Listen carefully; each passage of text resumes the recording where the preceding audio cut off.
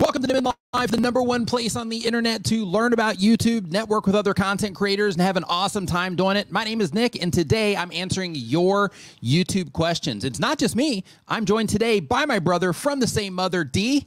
D, what's up, What man? is going on, everybody? Hope you Back had an again. awesome week. We are back again. Indeed. The Nimmins ride again. Yep, indeed. Yep. Yeah, we're going to be answering your YouTube questions today. So, if this is your first time in the stream, if you're hanging out waiting for us to get started, um, I do want to let you know that there is a form that is linked down in the description of the uh, stream right now. So, if you have a question, go ahead and get your question in there now. And if you do, it'll get answered on the stream today 100%. So, um, um, in addition to that, I do want to let everybody know that today's stream is brought to you by TubeBuddy, which is the number one tool for YouTube content creators. TubeBuddy will help you optimize your videos for discovery. It'll help you test your thumbnails to make sure that the thumbnails that you're making are effective for the people that you're trying to reach. In addition to that, um, YouTube, I'm sure you've probably seen the news. If not, we're going to be talking about it as well. But YouTube is putting out some A/B testing options as well. Big but, news. But one of the things that TubeBuddy is different there, because some people are saying in the comments of that video that that's going to be a big hit for TubeBuddy. But one thing that is different is with YouTube's, if you are somebody that is, you know, taking a strategic approach in terms of trying to get your videos to show up in search for sustainability and things like that, then in that particular case, um, TubeBuddy actually shows you which thumbs are performing in the best places on YouTube or the specific pages of YouTube, I should say, not the best places. Um, so, uh, so make sure you keep that in mind. But TubeBuddy has over 90 different tools that will help you um, with your YouTube channel, so you can try that for 84. yourself at 84. tubebuddy.com or uh, slash Nimmin, or of course, I'm going to link to that in the description. In addition to that, we are co-brought to you by StreamYard, which is the live streaming platform that we use to stream this every Saturday at 9 a.m. Eastern. And the reason we use StreamYard is because it's easy. Just calling it what it is. It's easy. It's reliable. It makes it easy to bring guests on. Makes it easy to add graphics to the screen. You can play background music, um, and it works as a great backup in the event that your internet goes down or you have some type of tech issue with your computer. It holds your stream open in the cloud. So if you have a problem that's technical on your computer side, then you don't have to lose everybody that's hanging out and start your stream all over again and go through that process. It just keeps everybody there, and then you can just come back in from your mobile device while you're getting everything fired back up, which is pretty awesome. But you can try that for yourself at StreamYard.com. Of course, I'm going to link to that down in the description, as well as a bunch of other helpful things for you as a content creator. So make sure that you check out the description as well. And uh, yeah, I think we're ready to get into the questions. D, Yeah, have a good week? Uh, yeah, I've had a great week, and you got me covered up here. Yeah. So I refuse to speak until you uncover. Oh, that's right. That's right. Yep, yep, yep. I guess So- I need to make a different panel there, or Yeah. a, a new. Yeah, I need to make a. We could do, like I need to make one of these, but Yeah. for that, just Or going across just- the bottom. You could just do like a D shape. Yeah. And I could just sit still. Yeah. Yeah. So Good. fun fact though, even though you know we've live streamed a bajillion times between the two of us, At least. yeah, uh, we still have technical difficulties. And while he Mm-hmm. was speaking, and I didn't get to showcase the wonderful Streamyard mug that's sitting here in front of us, uh, I was fixing. Uh, Hey, so they're having the they're having trouble right now. So basically, um, we're having technical difficulties. What is so it? they're having a problem between what they're seeing and what they're hearing. Um, he says the audio is trash. Um, right now, everything's out of sync. As one person, um, and then somebody said it's fixed, and then it's bad again. So I wonder if this is happening um, from It could be a YouTube issue. yeah, possibly. Um, on the mic is breaking up too. Oh, this is great. I wonder if it's because we were over there fiddling with it with the headphones. Uh, it shouldn't be. We're uh, our signal's about the same. So it's better with this view, she said. Um, so the wide view, I guess it goes okay. Okay, it's synced up for. Okay, everything's fine now. So we're good. So yeah, it might have just been a sync issue with uh, with YouTube. Oh, Okay. you know what? I Yep. think- so we're good. Yep, yeah, it could have just been YouTube doing like YouTube stuff. Sure, sure, sure, sure. Um, so anyway, welcome to the stream today. Hope that everybody's excited to uh, to learn about YouTube and you know learn everything about YouTube. If you are watching this on the replay, it's probably too late. You've probably left already from all the stuff that we just went through. But if you are still here, I do want to let you know that we add timestamps here to the stream. So um, if you are watching this on the replay, make sure you hit those timestamps. Look around for questions that might matter the most to you, um, and you know just hop right to that question and get the information from that. Um, but I encourage you to sit back and listen to all of it because you might learn a lot from questions that other people have asked that you might want to know the answer to, but you never really thought to ask the um, the question itself. So make sure you check out everything. And I uh, hope everybody's doing great. Shark Scrapper, what's going on, man? Nice to see you in here. Genealogy with Amy Johnson Crow, nice to see you here as well. Scrap and Palette Man, hope you are doing great. Jerry Papandrea, nice to see you here as well. T's Hot Mess History, hope that you're doing great. Learn Spanish World, nice to see you also. Christina Smallhorn in the house. Christina Smallhorn in the house. What is going on, Christina? You, did you know Christina has a uh, a course for real estate agents? Yeah, it's like a YouTube course for real estate agents. That's fantastic. Yeah, so if you're a real estate agent, um, make sure you follow Christina Smallhorn because she has a, a, a course where they actually because she's a real estate agent too, um, but they actually have a course for YouTube content creators as well. So make sure that you uh, that you follow her for that. Um, and yeah, okay, so got- we're gonna go ahead and get into the questions. I got then. one question before we start answering YouTube questions. Okay, so a question before the question. This is good. So this is like a pre-question question. This question. is a pre-question, and it doesn't involve YouTube. This is like a personal question. Okay. How many people, show of hands, are watching Silo? Show of hands. Show of hands. You can put a hand up in the yeah, chat. yeah, yeah. Put a little, how many people's watching Silo? We, we, we've been talking about Silo. Super pumped about Silo. Totally has nothing to do with YouTube, but that's how I wanted to roll. Yeah, I it's wanted good. to start to good. stream yeah, Silo. Yeah. it's good. Yeah, yeah. I'm watching it. Love it. Absolutely love Silo. I think I think it's interesting. I, I didn't expect a lot when I when I initially like clicked into it because Yeah. I thought you know just conceptually I was like Right, yeah this right, is kind of weird. Yeah. But man, am I hooked? Some good oh storytelling. Gosh. Yeah, Yeah, yeah, it's incredible. Love right. it. Absolutely. Moving on. it. YouTube. Let's yeah, it's go. on Netflix or no, it's on Apple uh, Apple TV. Yeah. Um, yeah, Silo is the uh, is the name of it. It's pretty Yep, good. Let's roll. So uh, the very first question that we have here on our list to get us into the YouTube stuff, we've got um, K Skis is our very first question. Um, man, I'm so used to not hearing myself that having this thing in my ear, it's it just like super weird. Yeah, it's, Yeah. it's so funny because I'm used to just like raw dogging, so Raw, raw dog in the audio. Yeah. I can't believe So- you just said so- that so- on your own stream. So yeah, it's uh, yeah, it's just uh, you know, it's just a little bit uh, uh, awkward. But anyway, it says um, how is it that I can come up with more ideas for videos so that that way I don't have to fall back on previous ideas? Um, because I've noticed more popular YouTubers do this as well, where they basically take the same video that they did but just change the who or what the video is about. So when it comes to uh, video ideas. Um, a great place to look for that is Google Trends around your topic, looking in YouTube search around your topic, and looking on places like Answer the Public for your topic. In addition to that, YouTube also has a research tab now that you'll find inside of your analytics. And in that research tab, they show you things that your audience specifically is looking for. And they also show you content gaps, which basically means that these are things that people are looking for, but there's not a lot of content on it. So that might be a you know a good thing to fill. But when it comes to those sorts of things, you have the the uh, Jerry says we're all talking merch inbound. You know what? but I'm going to protest that. what the merch? All right, but uh, uh, uh, yeah, what was I gonna say? Oh yeah, but for the uh, for the video ideas. So so one thing that you can do when I mention YouTube search is um, you can go up just to the search bar, and when you go up to the search bar, one of the things that happen there is as soon as you start typing in the topic of what it is that you talk about, then YouTube is going to auto suggest other things that people look for. So, what you can do there is let's say that in your case, you do gaming content. Um, I'm not sure what games you play, but let's say, for example, you did Fortnite. Well, in that particular case, um, Fortnite is would be the very first root thing that you would put in there and you would hit Fortnite and then hit the space bar and then YouTube's going to show you a bunch of stuff people are looking for. That does not mean that you have to optimize your video for search or, you know, for that particular term, but it does mean that people are looking for that, right? So if you make something that a lot of people are looking for, then, you know, it can increase your chances of, you know, just getting that exposure because it's showing if more people are looking for it, that demonstrates that more people are actually interested in that topic, right? That's the idea. Um, but using YouTube search for that is great. And when you're doing that, you could do Fortnite space A. And then it's going to show you a bunch of stuff there. Fortnite space B, and it's going to show you a bunch of stuff there. And you can just keep stacking onto that and get creative with how you're actually looking for things.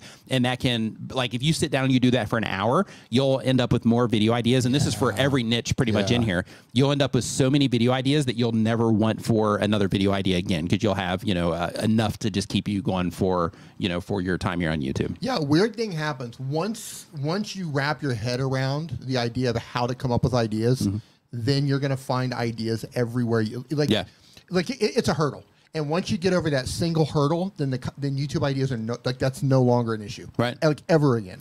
and even other things too like Yeah. um, you know like when you are on youtube's homepage and you're just on youtube as a viewer you're going to see a lot of stuff being recommended to you and all you got to do is think to yourself like hey um, you know these videos that i like that i'm clicking on is there any way that i could you know introduce that type of concept to what it is that i'm doing for my viewers but related around my type of content you know those types of things um, it can get you really far on uh, you know on coming up with video ideas and when you see other people doing something in another niche then it's like okay well if it's working there it could possibly work for what i'm doing so let me you know experiment and see if uh, see if it helps Get a super chat. so Super chat. super chat amy johnson crow says thank you nick for your support my channel just hit a million views high five and fist bump to you on your first We million need- views We need like a Yeah. Oh, yeah i've got the clapping song um, i just haven't uh, yeah Yeah, I need to. I, I, need to wrap up the uh, clapping. I Not the whole thing. I can just start it as now everybody's clack, clack, clack, clapping. I actually just did that in my uh, news thing that I did yesterday. Yeah, I don't want to. I just want like an air horn. Yeah. Like I think our neighbors would love us if we actually got a had a a real air horn. A real they probably horn. would, or like a bell that we could ring or something yeah. like oh, yeah, that. like a, yeah, just like a thing yeah, that hangs down. or right a here. megaphone, and we could just get, move the microphone right. back here and then speak into a megaphone They into decide, the microphone. They decide.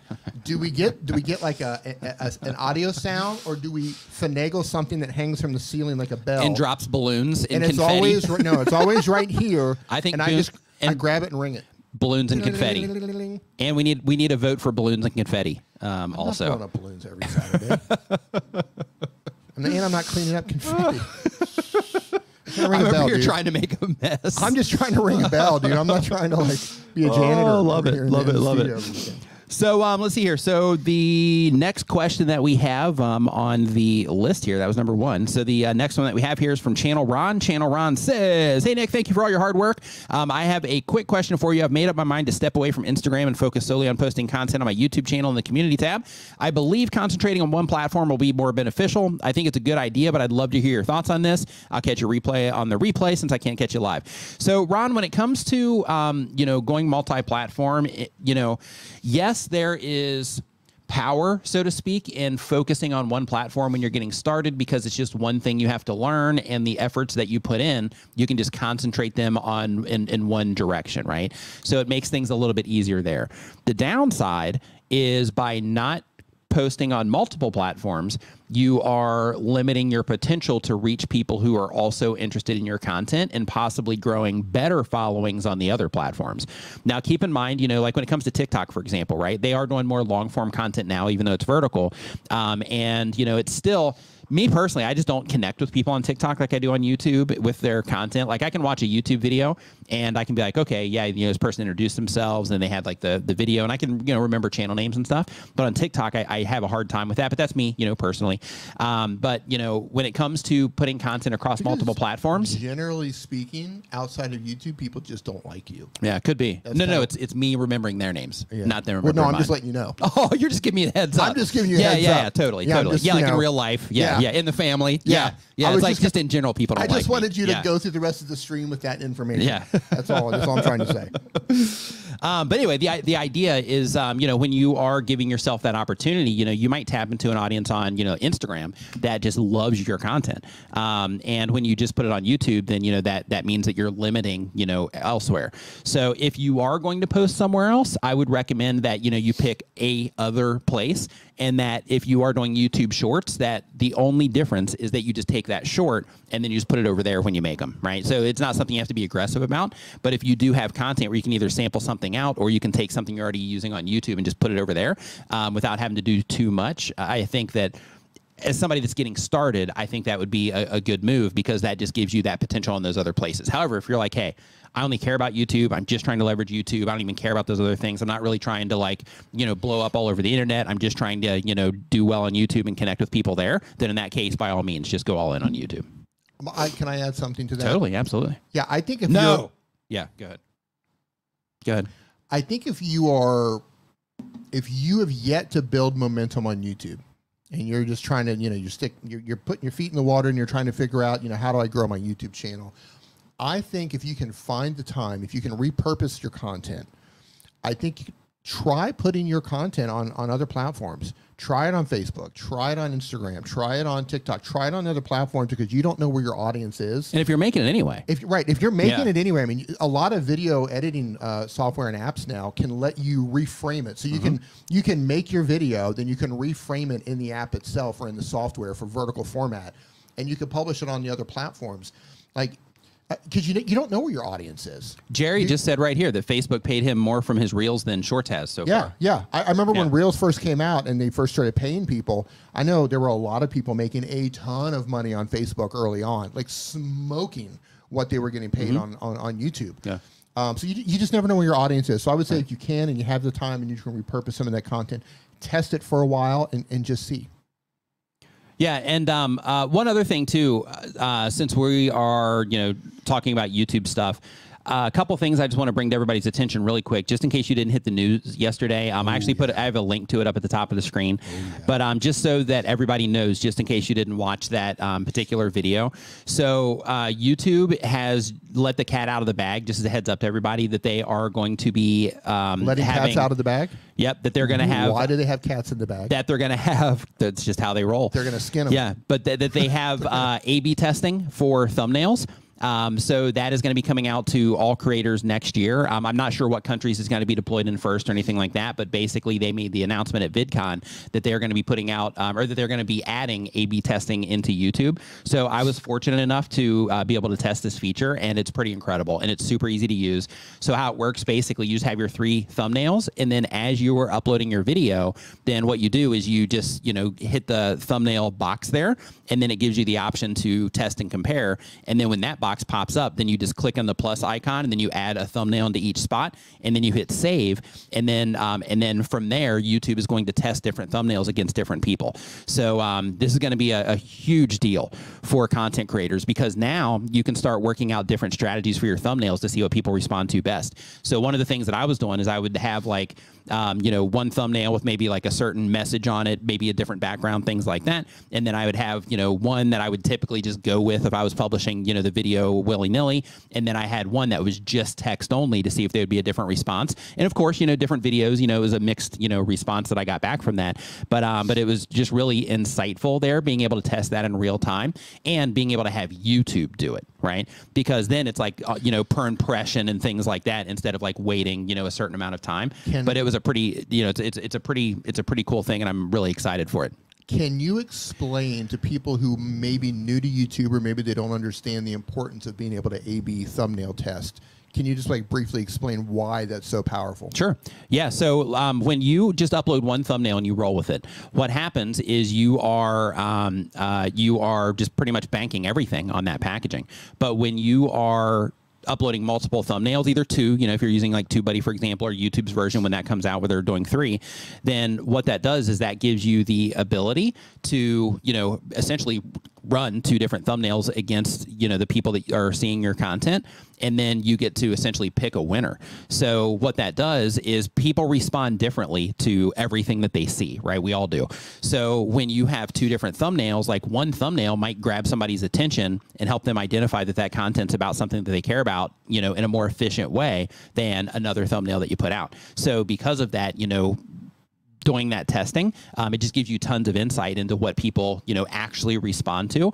And in some cases, it aligns with what you think they would respond to. But in other cases, you're like, wow, I'm, I'm surprised that's the winner. Yeah. You know, and, and it can really, you know, surprise you sometime. Um, but another thing as well is when it comes to, you know, doing all these tests, one of the things that you also have to make sure that you're thinking about, even if you're manually, you know, testing your thumbnails, um, you also have to make sure that you're always keeping in mind how the um, the the thumbnail um, or the click through rate leads to watch time on your video because you know one thing that can happen is if you have a super high click through rate but people are abandoning the video quickly because you know it was super sensational on the outside but once they get to the video then it's like you know all like all this is all it is or it's not what I expected and people start leaving that video then it'll hurt the video performance because it's not a satisfactory experience because they're not getting what they expected. But when you have that perfect match to where it's like okay this is what people expected they're coming in and they're really enjoying this content they're watching it for a longer period of time you know based on this packaging um, that creates a different expectation for the video then you're more aligning with you know creating an entire satisfactory experience for that particular you know viewer that responds to that so um, so it's a it's a it's a amazing tool to be testing, you know, like, you know, do it on YouTube side, do it on TubeBuddy side, whatever, um, or do it manually. But, um, but, you know, testing your thumbnails just to make sure that what you're doing is, you know, the most effective for the people you're trying to reach is, is definitely a best practice that you want to do. But in addition to the thumbnails, I didn't ask for all Another this. I was just like, can you just do like a quick? another another thing that they um, that they announced is that they are going to be doing um, Wow. um, auto AI um, multi-language audio on our videos. Um, this one's going to be a game changer for everybody because what this means is that when you upload your video, you're going to be if you opt in for this. When you upload your video, YouTube or Aloud is going to transcribe that video, and then AI is going to read that transcription, and then they're going to make it available. So let's say, you know, like with us here in Thailand, if if one of our videos pops up here and a Thai person goes into that video, then if it's dubbed in Thai, then one oh, somebody cop. right, right. That they're, they're gonna. We should just hire that guy and have Right, hire that it. Yeah. I follow but, him. I follow do that guy, yeah. TikTok. Oh. But but uh, but but they should. Uh, but what's going to happen is they'll see all the metadata translated if you translate that, um, and then once they click on it, then they're going to get the the audio in their language as well, which is pretty awesome. So then it basically makes your your your content accessible worldwide for all of the you know dominant languages on the planet. So um, yeah, it's, it's a it's a pretty big deal, and I, I'm really excited for uh, for that one to roll out. In addition to that, um, and we're going to get into the super chats and all that stuff here in just a minute, but but just a few things I'm trying to bring everybody up to speed on in case you missed the news. And this one here, I actually didn't add to the news yesterday. I recorded it, but it didn't get in there. Um, another thing as well is for the people that have channels, okay, first, as a YouTube content creator, especially if you're watching my videos, you're going to also start seeing a lot of videos about YouTube automation. YouTube automation is a thing. YouTube automation can work, um, you know, that kind of stuff. Those channels can do well. However, um, I believe that that's kind of what caused YouTube to do what I'm getting ready to tell you. So, um, YouTube also had a policy update that kind of flew under everybody's radar that like nobody talked about anywhere. I might make a video about this just to you know get it out there. But one of the things that um, they did is they made it to where if you have a fan account, so let's say for the automation channels where they go and they rip like all the Joe Rogan clips and then they make a bunch of shorts out of those, right? That would be a fan account. So because of that, what they have to do now is they actually have to add the fact that it's a fan account. They have to say the words fan account in the actual channel name so that when somebody's interacting with that content, they know that it's not from the original creator and that it's a fan account instead. Um, so, you know, for the people that do, you know, that animated, uh, you know, or automation type content or that you know just essentially steal content and then you know put it up as their own um, those people um, now have to put the, uh, the the fan account stuff in there so i just want to make sure that everybody you know knew about that because you know some people watches the new stuff other people don't but you know as content creators i just wanted to make sure that you're up to date on uh, you know on that stuff Two hours later. so two hours later yeah so um, I need so that. really quick I need that sound over here. yeah, you do. So uh, next up, we got a super chat here from Dynasty Trades In. Um, Trades In Five says, uh, "You're my entertainment when mowing the lawn, type of stuff. Uh, today, you are playing golf with me today. Oh, that's nice. Hole in one right here. We're all rooting for the hole in one."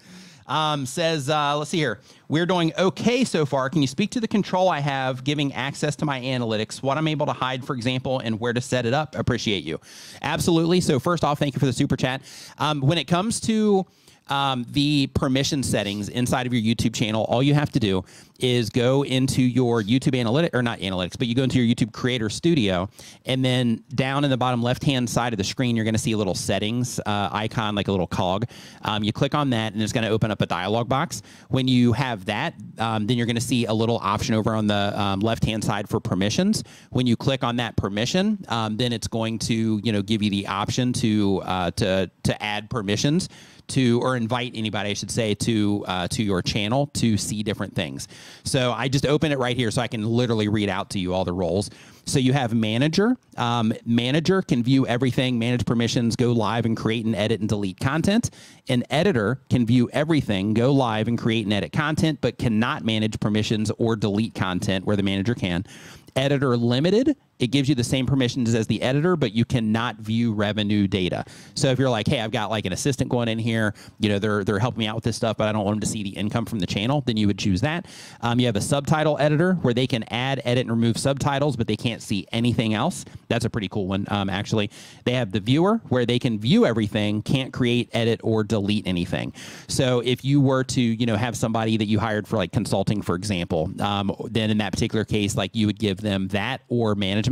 So then that way they'd be able to go in, see your stats, you know, dig into what's happening on your channel and get the information that they need there.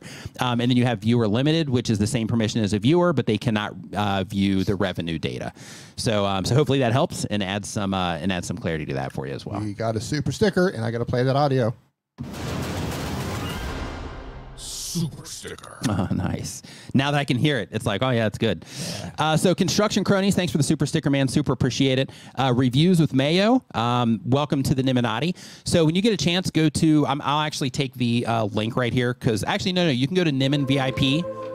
Welcome to the Niminati. You can go to nimminvip.com and that'll redirect you to the Facebook group. Um, just make sure that you fill out all the information on the way in because that's how I verify that you are an actual uh, channel member. So just fill that all um, in, and if you can do that, then I can get you in there um, when the stream is complete today. Super Chat. Danielle Tube Spanner says has some Hey. bad news about our equestrian channel this week.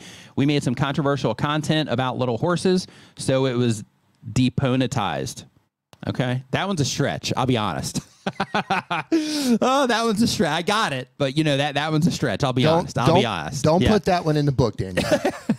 we're gonna we're gonna strike that one out of the book. Destiny Trades in Five says also two weeks ago um, at the uh, at the end, uh, uh, Nick said next Super is Destiny. Trades and D. Sorry if it's D. Um, cut you off, talked about something, and then you ended the show. It was comical, but it was unfortunate. Oh, so we had your question queued up, but you derailed me from answering the question. So and then we ended the stream. So that was like the last question on the list, and uh, it was queued up, but you derailed me, and they didn't get their question answered. How does it feel to have life not go the way you think it's gonna go? uh, D? so what was the question? Yeah, yeah, I'm not sure. No, yeah, I'm yeah, just he, kidding. do- he being- does that with pretty much everything. I'm So just kidding, that's, by the uh, way. yeah, I yeah. I do apologize for cutting him for cutting that off. What was the Danielle question? says Danielle says tough crowd. Yeah, Tough for crowd. Yeah. yeah. Yeah. No, seriously. Uh, Dynasty trade. Yeah, if you drop if you, yeah, if you drop the My question apologies. in here, yeah, if you Yeah. drop the question in here, we'll uh, we'll get an answer. Yeah, we'll you. get it right now. Just go Yeah, ahead. and sorry ask it. about that. My my sincerest apologies. Yep. Shame on you, D. Shame on you.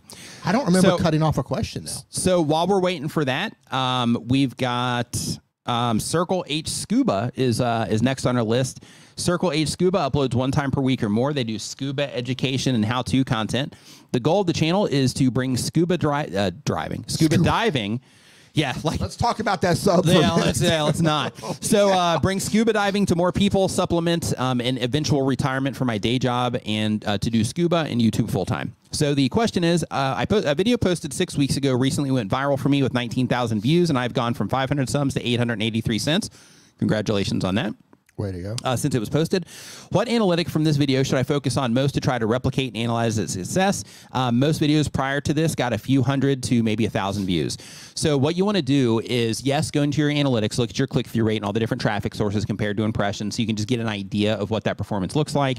Look at your audience retention reports at different report, or uh, your your retention at different you know um, uh, uh, places in that cycle. So for example, look at it like you know right right after publish, look at it about a week later, you know all that.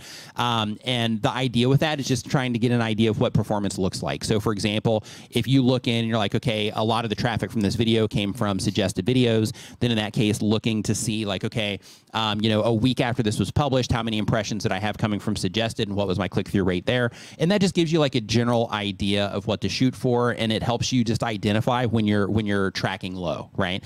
Um, and then from there, go and actually analyze the content itself. So of course, you have your audience retention reports where you're going to go in there and you're going to look and you're going to look for any places where people fell off that might have caused that video to do better if they didn't. Um, but you're going to look for that and just look for those types of problem areas. So you want to look for dips. You want to look for anything that's spiking up that that's that shows you that people either rewinded uh, into that spot or that showed that somebody you know shared it somewhere and that was the entry point in that spot. Those sorts of things. Um, in addition to that, you want to look and just confirm that the traffic did come from YouTube because it could have gotten picked up by a website or you could be getting traffic from Google or something like that. So just making sure that you know you understand where the views actually came from, and then from there go into the video itself. And instead of looking at it from an analytical lens, because you know you've already got those steps out of the way at this point, go in and look at it and say, okay, how did I start this video? What was I showing on screen? What did I say that might have you know caused somebody to be a little bit more interested in this video compared to my other videos? Um, and just just go through each section of the video and try to you know think to yourself like why do i think somebody would have responded best to this? And do i think it was this? Like do i think this part right here is the thing that actually you know connected deeply with people? Um, or do i think this is something that they might have just kind of you know breezed by and kept watching? And then maybe this next part was something that connected with them right? So just going in and just really analyzing the video itself and just trying to come up with theories on why you think people might have stayed in the video um, and why you know it, it mattered to the people that you know came in and enjoyed it. And then from there testing your theories on future content. Like, for example, if you're like, okay, in this video, normally I start the video and I'm showing a bunch of B roll and I've got music playing while I've got like a voiceover going. Well, in this video, um, I started the video with me on camera, and you know I went from me on camera. I was on camera for a little bit of time, and then I jumped into you know some B-roll, and then I came back on camera.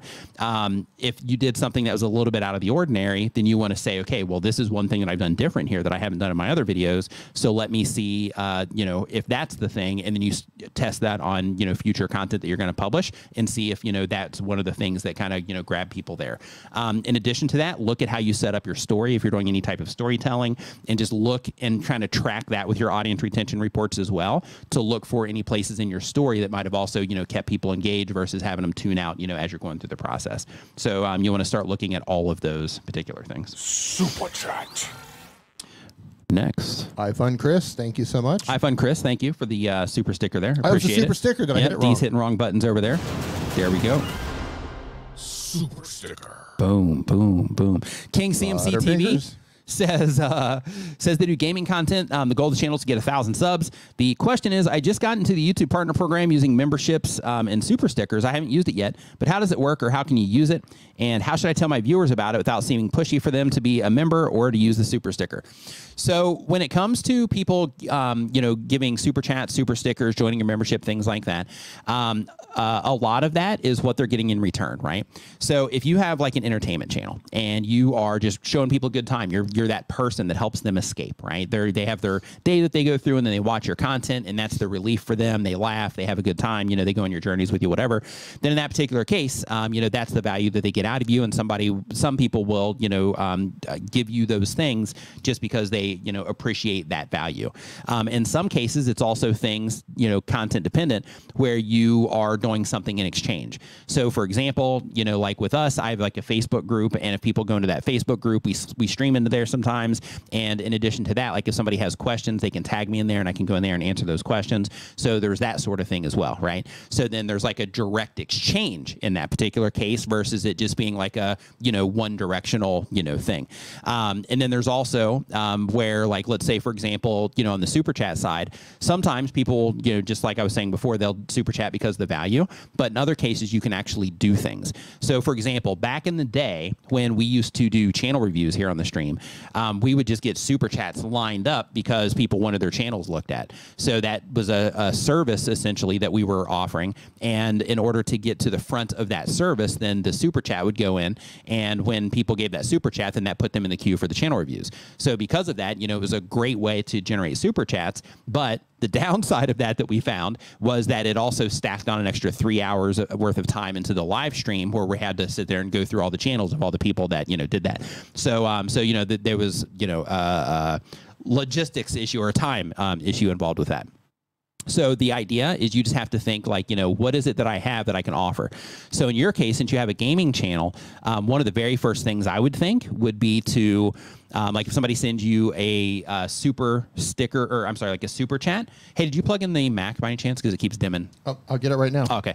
Um, one of the one of the things that uh, you might offer, since you're a gamer, is you might offer for people to, to play the game with you, right? So it's like you know, hey, if you are a channel member, then you know we have a, a get together every Friday, and you know we all play you know this particular game. Um, you know, we just go in as a team, and you know we you know we fight whoever it is that you're fighting in that particular game, or you do whatever it is that you're doing in the game.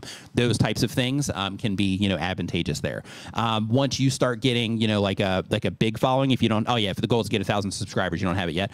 But once you get like a large following, then in that particular case, um, you know you can start changing some of that stuff up to where it's like you know, hey, you know, here we we uh, play together but then here you know like i have you know like this particular tier and if somebody's playing during this particular schedule they can actually ping me and then i'll come and join their team you know just like little things like that um, in terms of an exchange of, of value there Got it. You good? good thank you. Um, next up on our list here, we've got um, Bearded Iron. What's going on, Bearded Iron? Hope you're doing great. Says they do fitness content. Um, the goal of the channel is to help busy dads and or men in their 30s onward uh, lose the dad bod. Says Very specific. I love that. that is, yeah. Yep. Says, hey Nick, great content as always. I'm um, still trying to recover my channel after an earlier viral video has lost momentum. It's pretty discouraging when your channel is getting like 5,000 views a day and drops to around 200. My last few views uh, videos are getting all green ticks, which means good compared to my last videos, but still die off around three or four days. How do I keep a video growing after the initial few days? All green ticks would indicate I'm going in the right direction compared to my other videos, but not really seeing uh, not really seeing my videos doing better. So um, when what those green ticks are is they are compared to like the last videos that you published, right? 10 videos, right? Yeah, the last 10 videos. So videos. so if you let's say for example, um, you have um, you know, 10 videos that you published and all of them did poorly, then it's pretty easy to raise, you know, to go through the ranks of those. So me personally, like, I, th- I think it's good when people share like a, a, a- like an image on Twitter or something, or like, hey, you know, I got number one, you know, in, in, in like these last two. Like that can be good if the other videos were good too. But either way, it shows progress, which is a win. But you know, in some cases, that can also be misleading because it's like, yeah, you're heading in the right direction, but it's still not you know great compared to what it is that you normally do in some cases, right? Um, so because of that, like look at those ticks. It's like, yeah, I'm heading in the right direction, but it doesn't necessarily mean that you know that those videos are you know competitive for the platform um, in comparison to everything else your audience is seeing. So because of that what you want to do is instead of looking at those ticks, go in and look at the rest of the you know information around that video in terms of the impressions that it's getting, its click through rate on the different traffic sources, the watch time that you're generating from the different traffic sources, and all that, um, and and look for problem areas that are you know making you a little bit lesser competitive you know for the platform. In some cases, it can come down to how you're packaging your your videos through your thumbnail and title. In other cases, it's what happens you know after people click on the video. Um, but the idea is like you know you are already seeking that improvement. So what I would do in your case, because you have the one video that is, um, you know, that's already done well, is I would go into that video and do the same thing that I recommended a minute ago, where you're in there and just analyzing the heck out of that video, trying to get an idea, trying to get an idea of how that. Um, so he, he just took a selfie. in case you're like, in case you're watching, you're like. In case you're watching, you're like, what just happened? Yeah, D's taking selfies.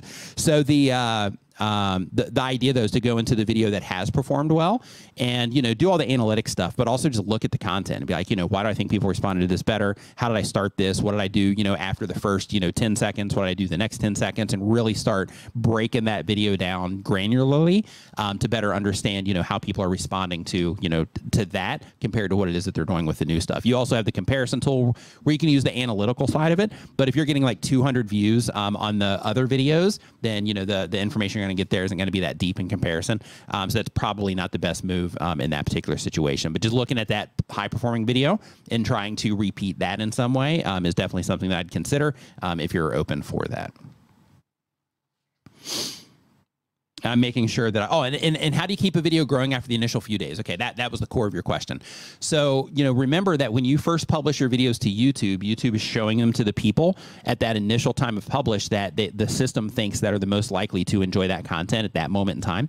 So what's happening in your particular case um, it would seem is that you know when you first publish your videos you're you're that core group of people that are likely to be the most interested in your content they are. But then as it starts going out to you know larger groups of people then that interest starts quickly falling off which then kind of stalls the video out. So um, so because of that it's really going to come down to like you really digging into the content and really trying to get an understanding of the different way that you're doing things in your different videos that people respond to you know positively or negatively so you can adjust accordingly So grandma, grand, grandma UTI, which is uh, something I don't want to think about, asks a question: um, Do we have to pay continuously if we join the membership uh, of one of the channel? Oh no, no. So basically, how that works is um, it is a monthly recurring fee. Um, however, you can cancel it at any time. Um, with that, like you know, I'm not aggressive on like you know trying to get people to sign up for the membership. Like you know, if people do, that's cool. If not, you know, Yeah. that's fine too. Um, so I'm not like aggressive for it. But um, you know, I've got tons of free content on my you know channel. If you're hesitant, you know, I've got tons of free content on my channel that you can watch, and you know, all of that. Like we've got probably hundreds of hours of these live streams over the course of you know of you know my YouTube journey um, that that you can watch to get you know tons of information there um, as well. It's just the cool thing about the group is that you know we have you know um, other members in there as well. So like if somebody you know one there's just conversation with other YouTubers which is great. But then in addition to that, like if somebody is like trying to you know fix something or solve a problem or they have an editing issue like Nikki did this week, then in that case you know it just kind of it, it's just a you know a, a resource to where people can go to you know get that kind of information. So Dynasty, uh, hey Chad, what's up, man? Dynasty Trade in five. Did you come back with that question from last week? I, I've been looking in the chat and I don't see anything from you. Yeah, I'll check to see if it was pinned by Doug by any chance. Yeah, I'm, I'm looking here. yeah, it wasn't. All right. Well, I'm gonna refresh, too, just to yeah, make next sure. question. So um, next up, we've got You Can Fix It. You Can Fix It says they upload when they have time. They do DIY learning content. Yeah. Um, the goal of the channel is to give people the information to repair their automotive repair rate. And the question is, um, can you go over the bullet points for using a product in a video, um, but not have an affiliate with that brand, but use the brand in an everyday job? I'm scared to make videos showing the tools I use, but would make bet for better content if I show them. So first off, you don't have to promote anything as an. Go ahead, D. What were you gonna say? I, I was just gonna say, um, I, I would love for you to type in the chat why you're afraid of showing tools. yeah. Are you are you afraid of? Uh, It could be because they, because they might not know like where you have to mark the sponsorship thing and you know that kind of stuff. right, but if he's So- just using tools or she's just using tools and you just happen to show the brand, that's not a sponsorship. That's not a sponsorship, right? Right, that's not a paid sponsorship. Yeah. Go ahead and carry it from there. I'm just curious Yeah. why why you would be afraid of that. Yeah. So, so what I was going to say is like when you are, you know, publishing videos, you can show, you know, all the stuff you use and things like that. Um, you know, if you're not promoting it as an affiliate, then in that particular case, it's still perfectly fine to show the tools that you use. Um, it's actually in some cases people find it more genuine when you're not trying to sell them something, right? So they're like, hey, you know, they're using this tools, but then they got like affiliate links. I wonder if they like really like these tools or if they're just using them because of the thing. And you know, people, you know, sometimes get suspicious about that. Um, and then when it comes to the actual companies that you're using their tools, in their case, that's free advertising for them. So, you know, they don't care. But one thing that I would do That's because leverage, by the way, for Yeah. actually like negotiating a deal is the fact that you do show their, their tools. Yeah. One that you show their tools, but another thing that you can do is when you make those videos, um, follow their accounts on on Twitter, follow their accounts on LinkedIn if they have like uh, you know anywhere that you can find them that allows tagging. Um, when you publish those videos that include their tools, one thing you can do is you can at them and just let them know, hey, you know, just made this video, you know, about this, you know, at you know company uh, tools toolkit, or you know, including you know these tools or featuring these tools or whatever and that can help you actually get on the, the radar of um, you know of some of those companies. And in some cases in some cases they might uh, in some cases they might actually send you a bunch of tools for free um, as well. Now keep in mind that's where things start getting complicated because if they send you the tools for free then in that case they are you know they are then sponsoring you because they're giving you something in exchange for those mentioned in the mentions in the videos right? So that's where things can start getting complicated. But when it comes to how you're currently doing it if you're not selling anything as an affiliate or those tools as an affiliate you're not doing it you know as a sponsorship you can show um, you're, you're fine to show you know the tools that you're using Yeah, and I just want to throw, Without risk. I just want to throw a little extra on there. When, when you get to the point where you are reaching out to these brands, or maybe they're reaching out to you to do some paid sponsorships, I just want to say that of the people I know who are in the trades, who do get sponsors to reach, you know, to do, do sponsored videos, a lot of those tool companies pay a lot of money. yeah yeah yeah, they've got they they've got money to spend. Mm-hmm.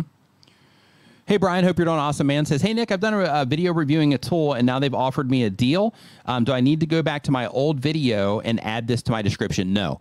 So you only need to uh, you only need to do that on the videos moving forward where you are you know reviewing that tool. Um, on any videos that you have previously before that deal was made, those were not part of the deal. So because of that, you don't have to disclose. You were just using their tools at that point in time. You know, it's crazy that I mean, and I understand why they do it, but it's crazy that we have all these complicated things. Like, hey, man, I'm just trying to like make money and like you know share something with my audience, Right. And I gotta like put this tag on here and do all this stuff, Right. and like there's Right. contracts with the brand. Like, it's just. I'm just Yeah. trying to make a video. I'm Right, just, right, I'm just trying to make right. a video. Hey, you guys might like this. They're giving me a little bit of money to, to, to present this to you. Right. And here's all of this this stuff. This you gotta deal extra stuff that This goes extra with it. Stuff, right. right. Right. So uh, Tara and Katrina um, are the uh, next questions here. And the uh, let's see here, they upload one time per week or more. Uh, the type of channel is Roblox edits and music videos. The goal of the channel is to create videos and expand my brand, also for me to have some fun. And the question is, I've really been struggling with shorts. Um, I used to get a thousand views per short, and now it's gone down to like 40 to 100. Any ideas on what I can do to stop this? Love your videos, by the way. Thanks for the kind words. Um, when it comes to shorts, the thing that you're experiencing right now, a lot of content creators are experiencing. So, um, you know, remember that back in, you know, back in the day, I mean, we'll just say a year ago, um, back at back at back a couple of years ago when shorts first started. But Back, the back in my day when videos were horizontal. right when they were normal, yeah, think about that for a 2nd Mm-hmm. There, there will exist a generation of people who grew up in the age of vertical video, Right. And they won't know a world where vertical video was wrong. right. That's Right. incredible That to is. think about. Yeah, when There- you, when know you used to look at somebody that shot a vertical video, like like, come on, get it together. I, well, I think it was my first video, or maybe my second video ever on the channel. It was before anybody was doing vertical video, and I was like, "What?" Because and I saw people making vertical videos. Yeah. on YouTube, and I was like, "Whatever you do," it was like with tips, right? Yeah. I was like, "Do not, under any circumstance, shoot a vertical video." Boy, that did not age. yeah, I guess the any circumstance part should have Yes. had like a little That disclaimer. disclaimer. now I'm yeah. Do not under any circumstance shoot diagonally. Yeah, right. Disclaimer. Yeah. Unless a, a new app shows up. yeah, right. know, Unless it becomes the thing, unless then it do becomes it. a yeah. thing. Right. uh, but, but in terms of uh, you know that that 1,000 short, you know, and then now they're lower. So um, just like Jerry said here, um, you know, things are getting a lot more competitive when it comes to short. So there, there's a bunch of different things that are happening right now. So the very first is that you know a little bit um, not too long ago there wasn't you know like everybody wasn't doing shorts right um, because it was new. Some people were afraid of it. Some were people some people were afraid to put it on their channel. So then they would have like new channels for it and all this stuff. But through the evolution of it, now it's become more mainstream. So since it's become more mainstream, a lot more people are, are adding shorts to the channels that they already have. A lot more people are starting shorts channels because it's easier to get traffic there, those sorts of things. So because of that, the amount of competition in shorts is is much more. So since it's much more, the viewer experience that people are having in shorts, the bar keeps raising because they have so much inventory now in YouTube Shorts that you have a lot more competition that you that you used to have. So because of that, you know, if that's where you're at in terms of the views that you're getting there, then you know, just like the rest of us, when we end up in those situations, we have to you know up our game um, in terms of you know our quality of content and maybe be a little bit more strategic when you're putting it together um, in order to you know in order to get the higher view counts. Because you know the the, the days are getting fewer and fewer of being able to you know upload something that isn't that competitive really but you know it's still getting views just because it's there right? So um so because of that you know i would just work on you know your hooks because of course with anything it doesn't matter if it's a blog post a, a long form youtube video a live stream um, or a youtube short or a tiktok video whatever like you know how the content starts is always going to be a determining factor on how long, you know, how much more people are going to keep watching it. So just make sure you're spending a lot of time just really being intentional and thinking about the hooks of your shorts because, you know, that will be, you know, one of the big defining factors if people are going to stick around or not. So Don Juan in the chat says, and this was on a follow up to the tool, uh, the tool trades. They say, how much do these companies pay for sponsorships? I'm in the green industry trades. Here's what I want you to do. Uh, when this stream is over, you can write this down. Go follow a YouTube channel called Creator Wizard. Uh, Justin Moore is his name. Yes. He's also very active on Twitter. Yeah. He's really good at walking uh, creators through how to negotiate brand deals and what to ask for and that sort of thing. Yeah. Let, let- But but in terms of the answer there, if you are a channel that that gets you know uh, like a let's say you get like you know ten to twenty thousand views per video, then you're going to get you know a decent amount of money.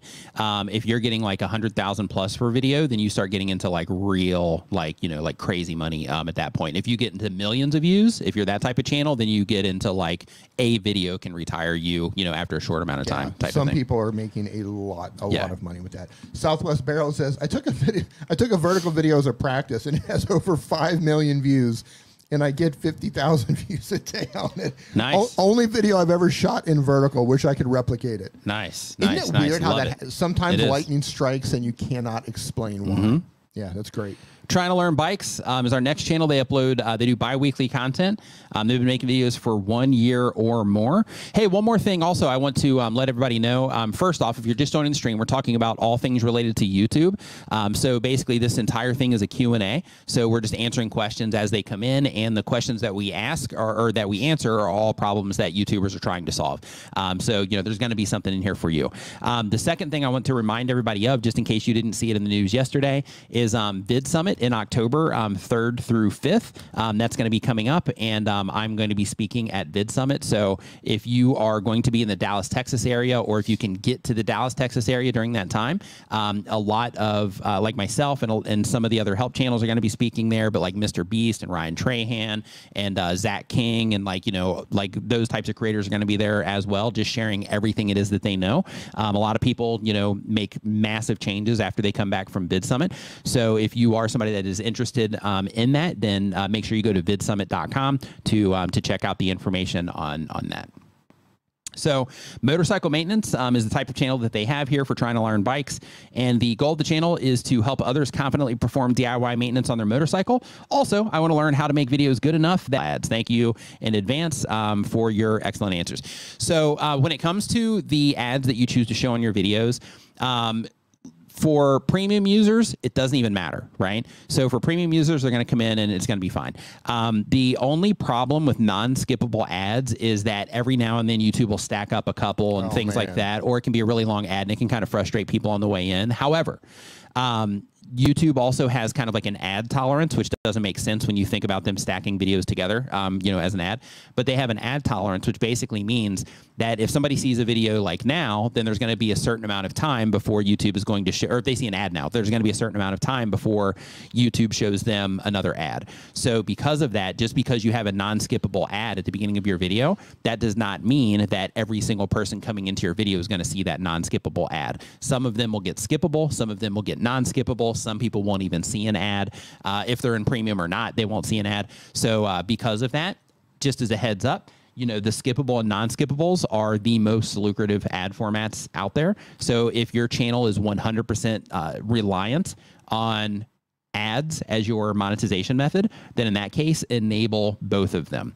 Um, and anybody that is, you know, uh, you know, has a problem with that, then they're just going to have to, you know, move on, so to speak, because that's your your primary, you know, uh, form of monetization. Yeah, and I want to say, like from a, a consumer point of view, and and I'm not paid to to say this in any way, shape, or form, but I think YouTube Premium is hands down the best monthly recurring bill that I have Yeah. of all the things that I have, and that's including like Netflix, Apple TV, um, unless it's Disney uh, and there's like a new Star Wars thing going on, then I'll say it's Disney. Otherwise, it's YouTube Premium. Consuming content on YouTube without ads showing ever is amazing. And I don't know how people consume YouTube with ads. I just don't understand how, how that's even possible. There was someone, um, it was like a, a stream or two ago, maybe maybe a little bit more than that. But there was somebody that actually mentioned that, and they're like, "Yeah, I didn't really think about it." And then they went and they got premium, and they were like, "Oh my gosh, D, like you know, totally, that's like the best the best purchase I've made." Yeah, yeah, I- I- and again, you know, I'm I'm not paid to say that. Right, people, right. I've been, I, I've actually gotten comments. Been 'cause I- called a shill. Yeah, yeah. oh, you're showing for YouTube. No, no, seriously. Like, Right. consuming YouTube content without ads popping up all the time is it's a game changer. Yeah, it's totally different. It's totally different. One, like you can just put on like a like background music. Mm-hmm. Like, ch- hey, just put on some some chilled. You know, here's a six hour chill background thing. No ads. Mm-hmm. Or like you can just turn it on and like you can listen to like a podcast video Right. and like go do something and clean the house or whatever, and there's no annoying ads that pop. Right. It's just a game changer. Man. is. It, it's money well spent if you can fit it into your budget. Yeah, I think it comes down to thinking like, is my time worth that? Right. Right. So it's like I- if you like if, if you are it's a focus killer. Right. It- it- like it's just whoa. What what is that? What is that? Attention yeah. killer. Yeah, yeah, Like that's I- true yeah, too. Yeah. Yeah. for me, it's more about like, you know, would I, okay, so over the course, like if I spend like, you know, 40 minutes on YouTube, if I see, you know, a few ads that are, you know, like two minutes long or so, I mean, technically I can skip them, you know, quickly unless it's an unskippable, Right. but like, you know, does, does, would it make sense out of all the time that I use YouTube over the course of the month to just, you know, spend that few bucks to, you know, to Yeah, avoid yeah, that? and I understand that's not going to be in everybody's budget, but, Totally, but totally. like I would, I would get rid of Netflix before I got rid of YouTube. yeah, Premium. yeah, totally. and that's legit. Uh, Rene Ritchie is in the house. YouTube's Creator Liaison. Hey Rene, hope you're doing awesome, man. Hope you had a good time at uh, at VidSummit. Happy Saturday from VidCon, Nick and Yeah. D. Hope you Or like VidCon, new- VidCon, sorry, VidCon. VidCon. Like, hope you like our new AI dubbing and thumbnail A/B testing. And we were talking Yeah. about that Yeah, we earlier, were man. Just talking about that. Yeah. You were late. That'd have been great to have you in talking about that then. How was VidCon this year? Hey, did, So- did. YouTube come back to sponsor VidCon? Or Yes. did, they did. Yeah. Uh, yeah. Interesting. Yep. That was weird last year with TikTok uh, sponsoring. yeah. Makes it, it makes things awkward. Yeah. Yeah. It's like, oh, this is awkward. Yeah, this is awkward. Yeah, Yeah. hey, uh, yeah, yeah. Who are these folks? Who are- so um, TikTok. J- Jabari's fitness channels. our next question here. Um, they have a fitness channel, and the goal of the channel is to hit a thousand subscribers, hopefully get one million, and open a gym. Love it. Wow. Big picture right there. Big picture love it. Love it. Love it. Um, are my thumbnails good? What should I do to get a thousand subscribers? How to get noticed on YouTube? So, um, I'm not going to look at your thumbnails, but um, but the thing that you want to focus on in your thumbnails is making sure that you are. I'll look at your thumbnails, but I'm not looking at those. What do you right? think? Yeah, beautiful, freshly manicured. One to ten. Yeah, um, I would say maybe like a two and a half. If one's good, is, is one good or is ten good? Ten, okay. One from a scale of sand. No, from a scale of a train wreck. Okay. To Angelina Jolie's thumbnails. What, what do you got? I've never seen her thumbnails. I Can you give only- me another reference? I can only imagine they're amazing. Okay. Um, then in that case, I would say so. So um, I would say halfway between the train wreck and Angelina Jolie. That's not bad. I'll take Yeah. that. Yeah. Maybe maybe even a little bit more towards Angelina Jolie. They, they're nice. They got a good pol like a nice sheen It's on them. They're, I'm- they're they're clean around the edges. I'm all that proud good of the stuff. buff. I'm proud of the buff. You don't. You're not like heavy on the cuticle No, side no, no, either. Yeah, they look good. they look good. Yeah. Okay, so um, let's see here. So next question that we have is um, let's see here. Says um, Todd Beaupre and I broke down the multi-format algorithm for you all. Hope that you get to see it soon. Oh, looking forward to that. Definitely looking forward to that when that comes out. Yeah. I'll watch that for sure. Hey, Roberto Blake's in the house. Roberto Blake, what's up, man? Hope you're doing great. He says um, YouTube Premium pays better. Um, let the uh, pays better. Uh, let the viewer than uh, than AdSense. Yeah, that's something too. A lot, a lot of people think, okay, well, if somebody's watching with ads or with uh, premium, I don't get paid. That's not true. Yeah, you definitely do. You get paid. Um, but yeah, on Jabari's fitness channel, they say on my thumbnail's good. Um, what should I do to get a thousand subscribers? Not going to get noticed on YouTube. So um, I'd like to actually challenge the way that you're thinking about that. So Oh, you know, currently, you're D's like, well, here goes 20 Yeah, minutes. yeah. I'm gonna go. I'm gonna, gonna, go. go, gonna go get a pizza. I'll be back. Yeah, I'm gonna go get a manicure. right. Funny story. Trying to get that 10, right? Trying to get that Yeah, Angelina and- Jolie. and th- this is this is the truth. I'm not exaggerating here. Mm-hmm. Uh, so they were like in a really big building. Yeah. Th- this this unit here is in a really big building, mm-hmm. and on or in this building is a nail shop. Mm. It's like a, a place to get manicures. Mm. Is that still open down there? It's still oh, open, Oh, okay. and I still get manicures down there. nice. So it, the last time I went in there to get a manicure, Mm-hmm. and this is really dangerous. So I, I think they don't. We're we're we're in Thailand. So I, I, I they're ha- I'm gonna guess that like in maybe U.S. and Europe and stuff like that, they probably have some sort of air filtration system to get rid of that Mm-hmm. terrible s- toxic smell from all the paint and everything. Yeah. I got buzzed getting my nail my nails done. Holy moly! Yeah, and I and I, I told the Gotta go down and get my nails done after the show. yeah, yeah, nail party.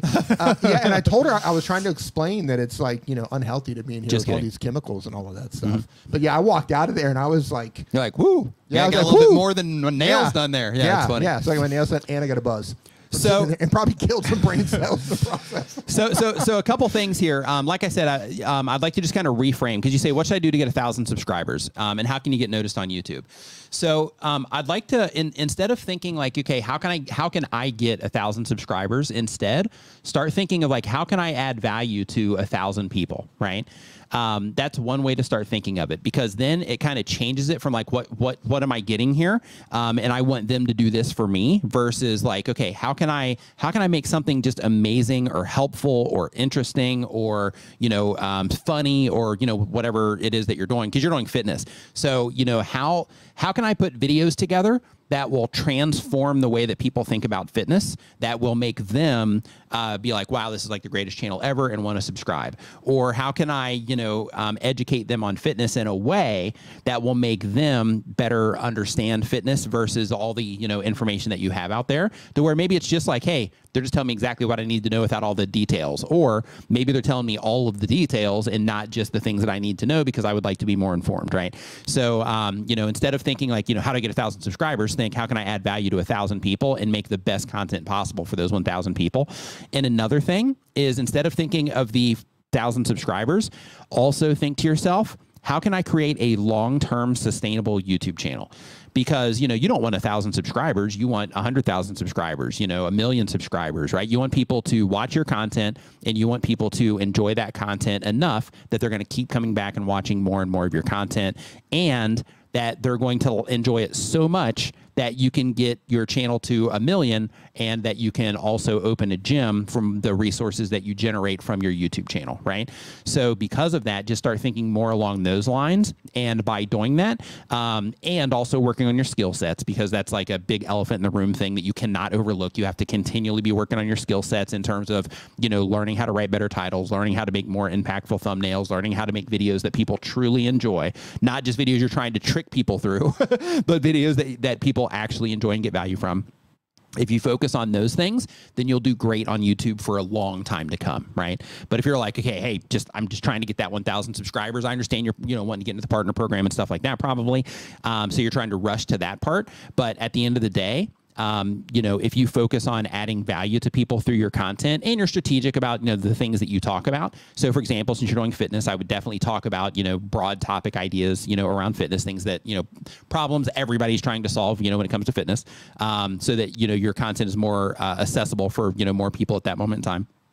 But if you focus more on the side of, you know, just adding value to people, then, you know, long term, you're going to win, right? There won't be any stopping you at that point. But if it's just like, how do I get to a thousand subscribers? Then you're kind of, you know, putting a little bit of a ceiling on yourself there. Um, when really, you know, if you put out just a handful of good videos, um, and in some cases it can be one good video, it'll just cruise you right past that 1,000 subscriber side. Like there's probably people in the chat here right now that have put out one video that by that by itself that one video has generated a thousand subscribers 10,000 subscribers 20,000 subscribers um, you know because that that's a reality of youtube. If, if you're focused on value people are, are interacting you know positively with your content and having that good experience like you know people will you know subscribe to um, subscribe to your content. So next up on our list here um, we've got Um, let's see here. Squared Phoenix. Squared Phoenix says that they upload every other day. Um, it's also a gaming channel. How many gamers do we have in here? If you're a gamer, just say me. Um, but they uh, want to become an authority in the gaming niche. And the question is, hey guys, um, I'm actively working on improving my speaking ability on the mic. When you both started out, did you just figure it out as you as you went naturally, or did you follow any guides or do any formal training? And if you did, could you recommend any courses, videos, etc.? So I still mess up. I still use a lot of filler words, things like that. When I'm trying to be mindful of it, and I'm really focusing on not using as many filler words, one thing I try to do is I try to breathe, and instead of saying the filler word, or instead of saying um or ah. But sometimes if I'm just trying to explain an idea, I get focused on trying to explain that idea, and then I'll I'll just lose track, right? I'll lose that focus on trying to not say those things, and I'll end up still getting them in there. So you know, it, it's a continual thing, and and you you might be able to fix all of that faster. Uh, for me, I still run into periods of time to where I'm an obsessive uh, um sayer and like sayer and you know sayer right? So uh so yeah i would just work on i would just work on those things. But on the breathing side that's a great way. If you can start being mindful of where your brain says the um or whatever other word that you like to throw in there just taking a breath through your nose is a great way to kind of combat that. But you have to make sure that you're being mindful of it in order to be able to kind of take over when your brain's trying to make you say those other words. Uh, but one thing that can be helpful is meditation in terms of just practicing being mindful. Um, and that can help you in a bunch of different ways. So that can help you in terms of how you're communicating. That can help you on just being mi- more mindful in your environment. That can help you in being more mindful of, of things that are going on with your body in terms of how you're feeling. So, for example, with me, meditation taught me that I have this weird thing that I do with my legs to where I just tense my legs up from time to time. And it was just out of nowhere. And I never noticed it in my entire life until I started meditating. And then because of meditation, now when that happens, I almost instantly I'm like, oh, don't it, and then I can just you know mentally just relax, you know, relax my leg in that point. So uh, meditation can also be helpful in, in that regard too. Not in a woo woo kind of way, but just in more of a helping you have more focus on whatever it is that you're trying to focus on kind of way. Next up on the list, when I mention meditation, some people get like woo woo about that. Uh, treasure hunting detectors, what's going on? Hope you're doing great. Welcome to the stream today. So, next up, we have Saturn. Saturn says they upload every other day. The type of channel is Discord and anime content.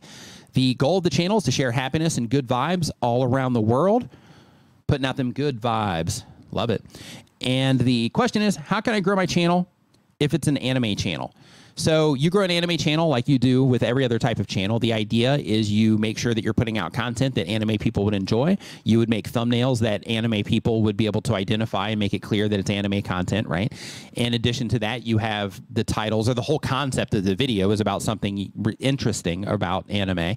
And then within the title itself, it's something that is either informational or super compelling or a mix of the two um, in order to you know help pull them into the actual video content. And then on the growing the channel side that's just one side of it right? Getting, getting people to click on it. But then you have the other side of like okay if people click on this what do they do next? Which is they watch and interact with the content. So if they're watching and interacting with the content then in that particular case you have to learn how to keep people watching for a longer period of time.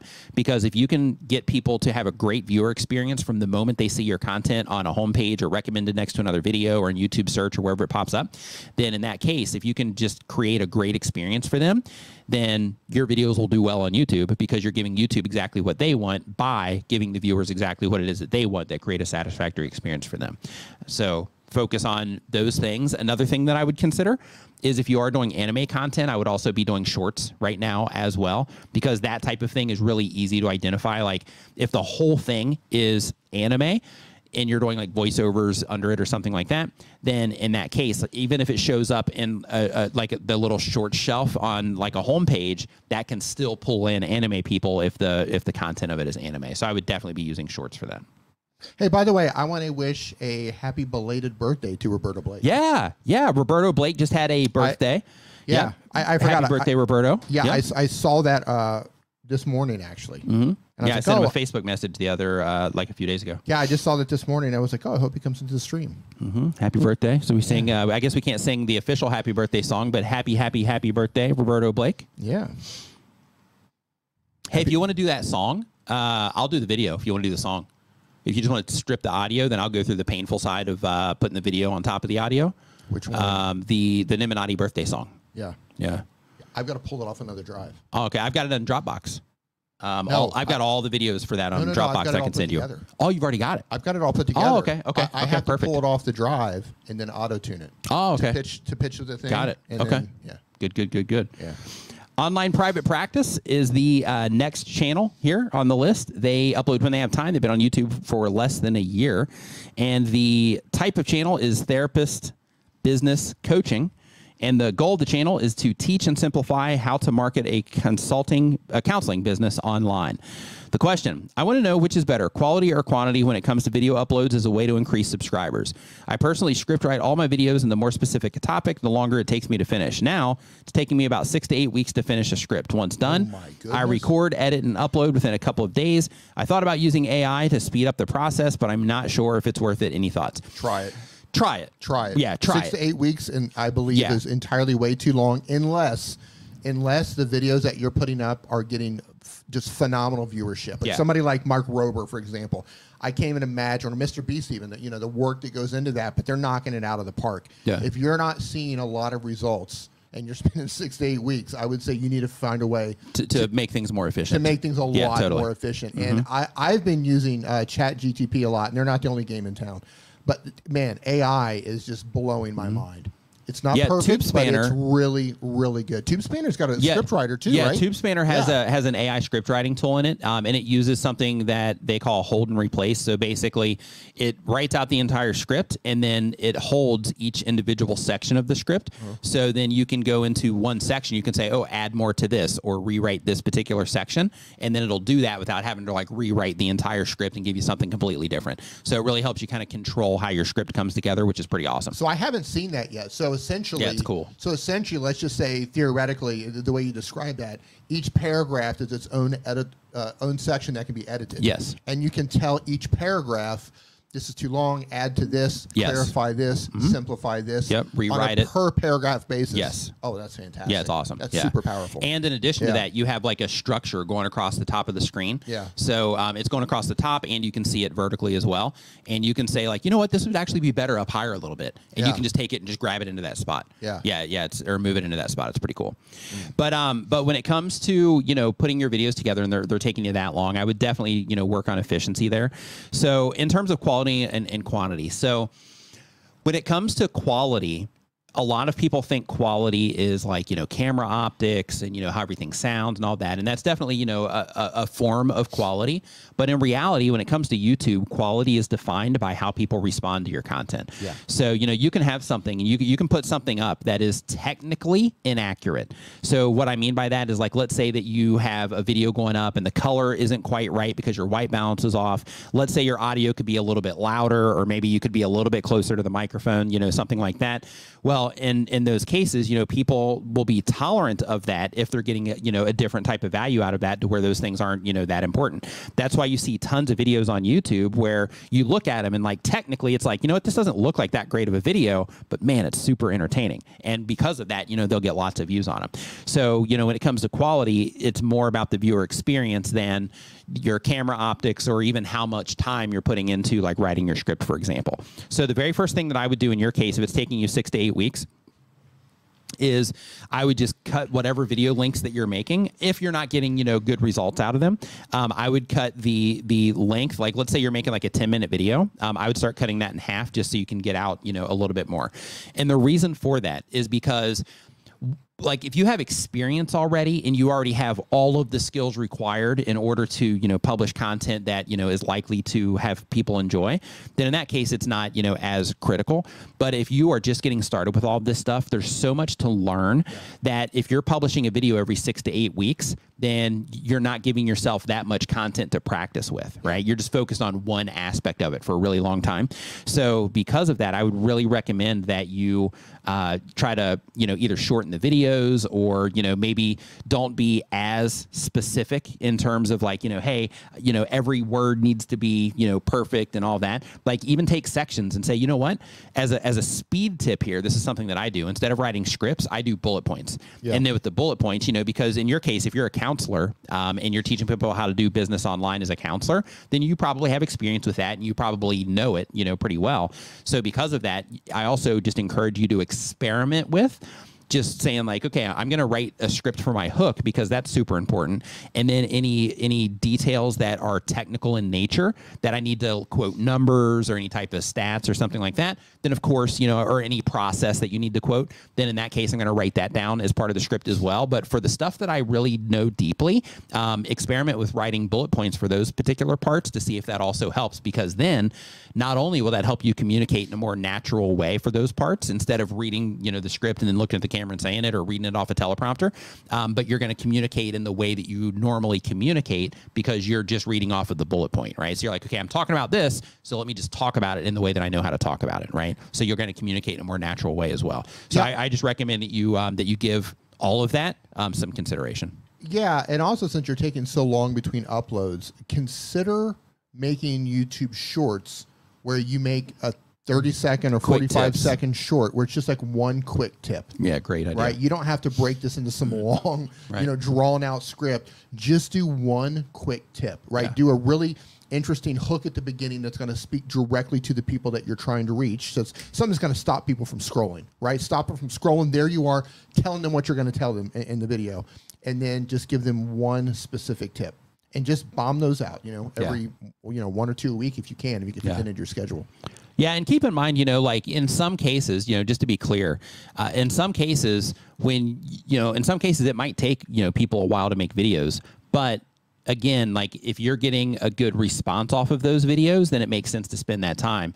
But if you're not, that means that you really need to focus on making sure that that you're that you're practicing the thing enough that you're going to be able to improve the skill set over time uh, you know as rapidly as possible.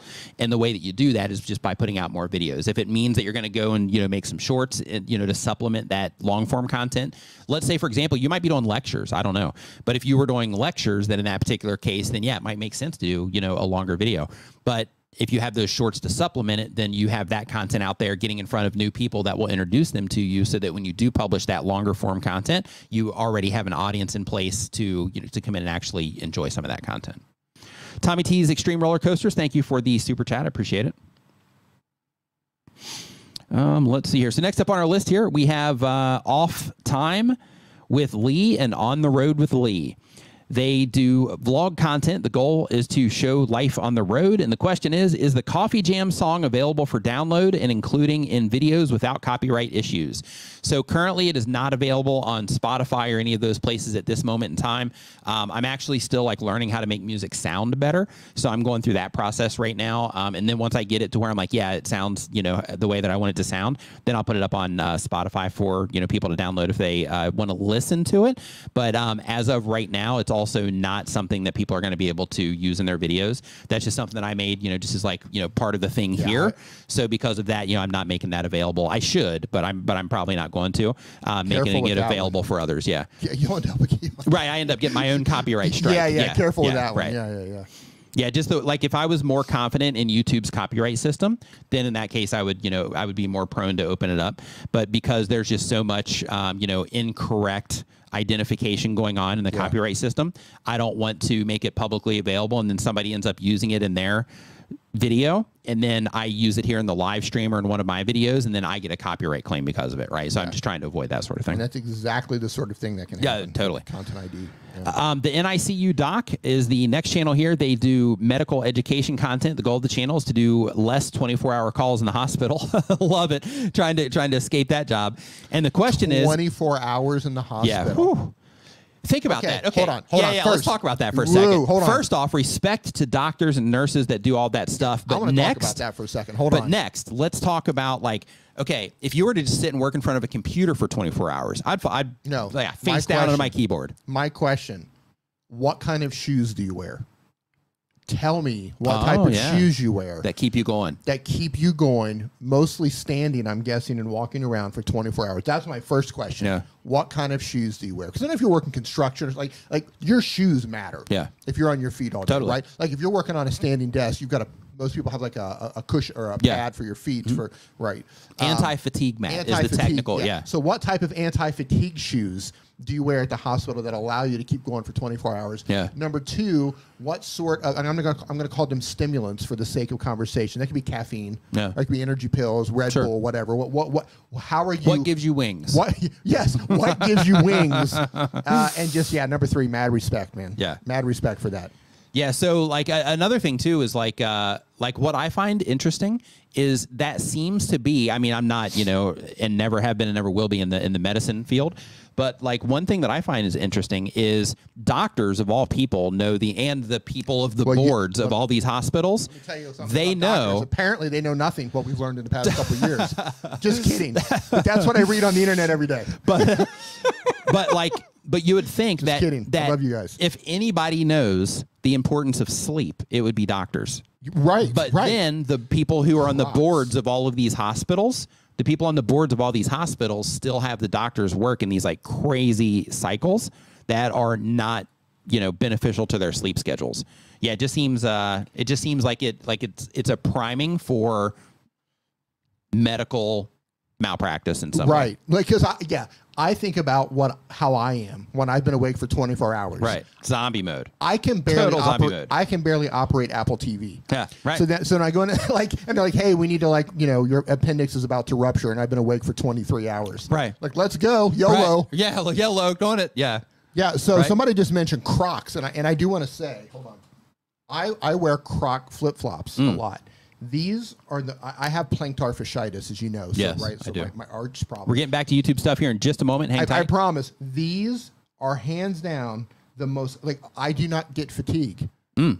wearing these things. So there's probably something to be said about Crocs Mm. if people in the, in the medical field. that they're a croc. No, I'm just kidding. Yeah, no, Yeah. I, I can stand a long time on these and, and not get tired. But like my Nike gym shoe, like man, I get worn out. Interesting. Yeah, yeah, it's Hmm. really weird. Next up on the list, we've got gardening with Bear Brown. Hold on, we got super chats coming. Oh, Tommy T's roll, uh, extreme Oh, roller super coasters. sticker. Thank you for the super sticker. sorry, super hit the wrong appreciated. one again. So we, we got we got Butterfingers over there. You know what? I can't see that in Streamyard. Can't see what. I can't see if it's a super chat or super sticker in Streamyard. Oh, Unless I'm looking at YouTube, I don't. And, and it, they all look the same to me inside of Streamyard. Hmm. Streamyard, get on this. Yep. So um, so here, so next up we've got gardening. Uh, it's a gardening channel, and the um, channel is gardening with uh, Bear Brown. Gardening with Bear Brown says the goal of the channel is to help people grow food and one day be able to retire and do this full time. Super cool that you're helping people grow food. Um, just wanted to say that real quick.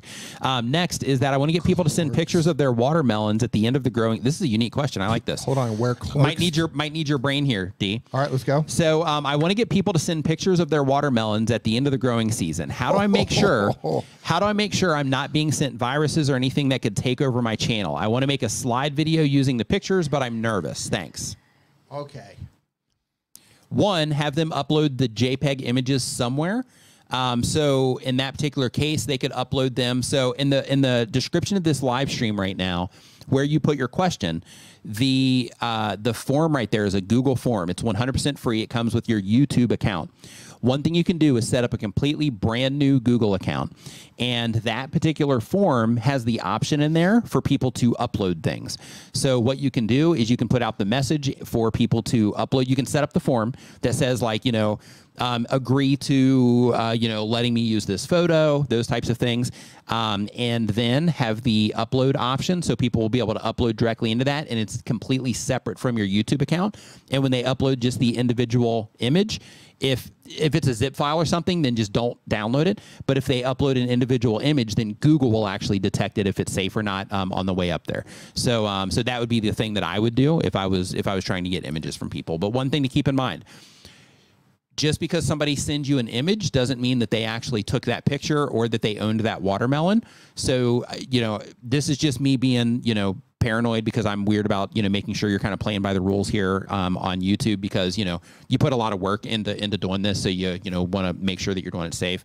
But basically, um, you know, one thing that you do run the risk of with any type of viewer submitted stuff is that they find a really big watermelon photo off of Google Images Yeah. or some stock site or something like that, and then they upload that into there, and then you show it in your video, and then somebody that that is a watermelon farmer That's my happens to be watching watermelon stuff. He's like, wait a minute, that's my yeah, it's my watermelon, watermelon. and then you know they those melons. right, and then they you know and then they you know submit you know some type of you know takedown notice or something like that if they even know to do it, um, or they send you an email or they complain to YouTube or whatever the thing is. Just be mindful that you know that you do open yourself up a little bit for that kind of thing. It's probably fine, but I just you know I just want to make sure that I do share that with you because I'm a big fan of just you know making sure that you're you know protecting your your Here's- your your channel and that everything's sustainable. Yeah, in terms of virus protection and all of that, Guess what, Corgi Butt? Thank you for the super chat.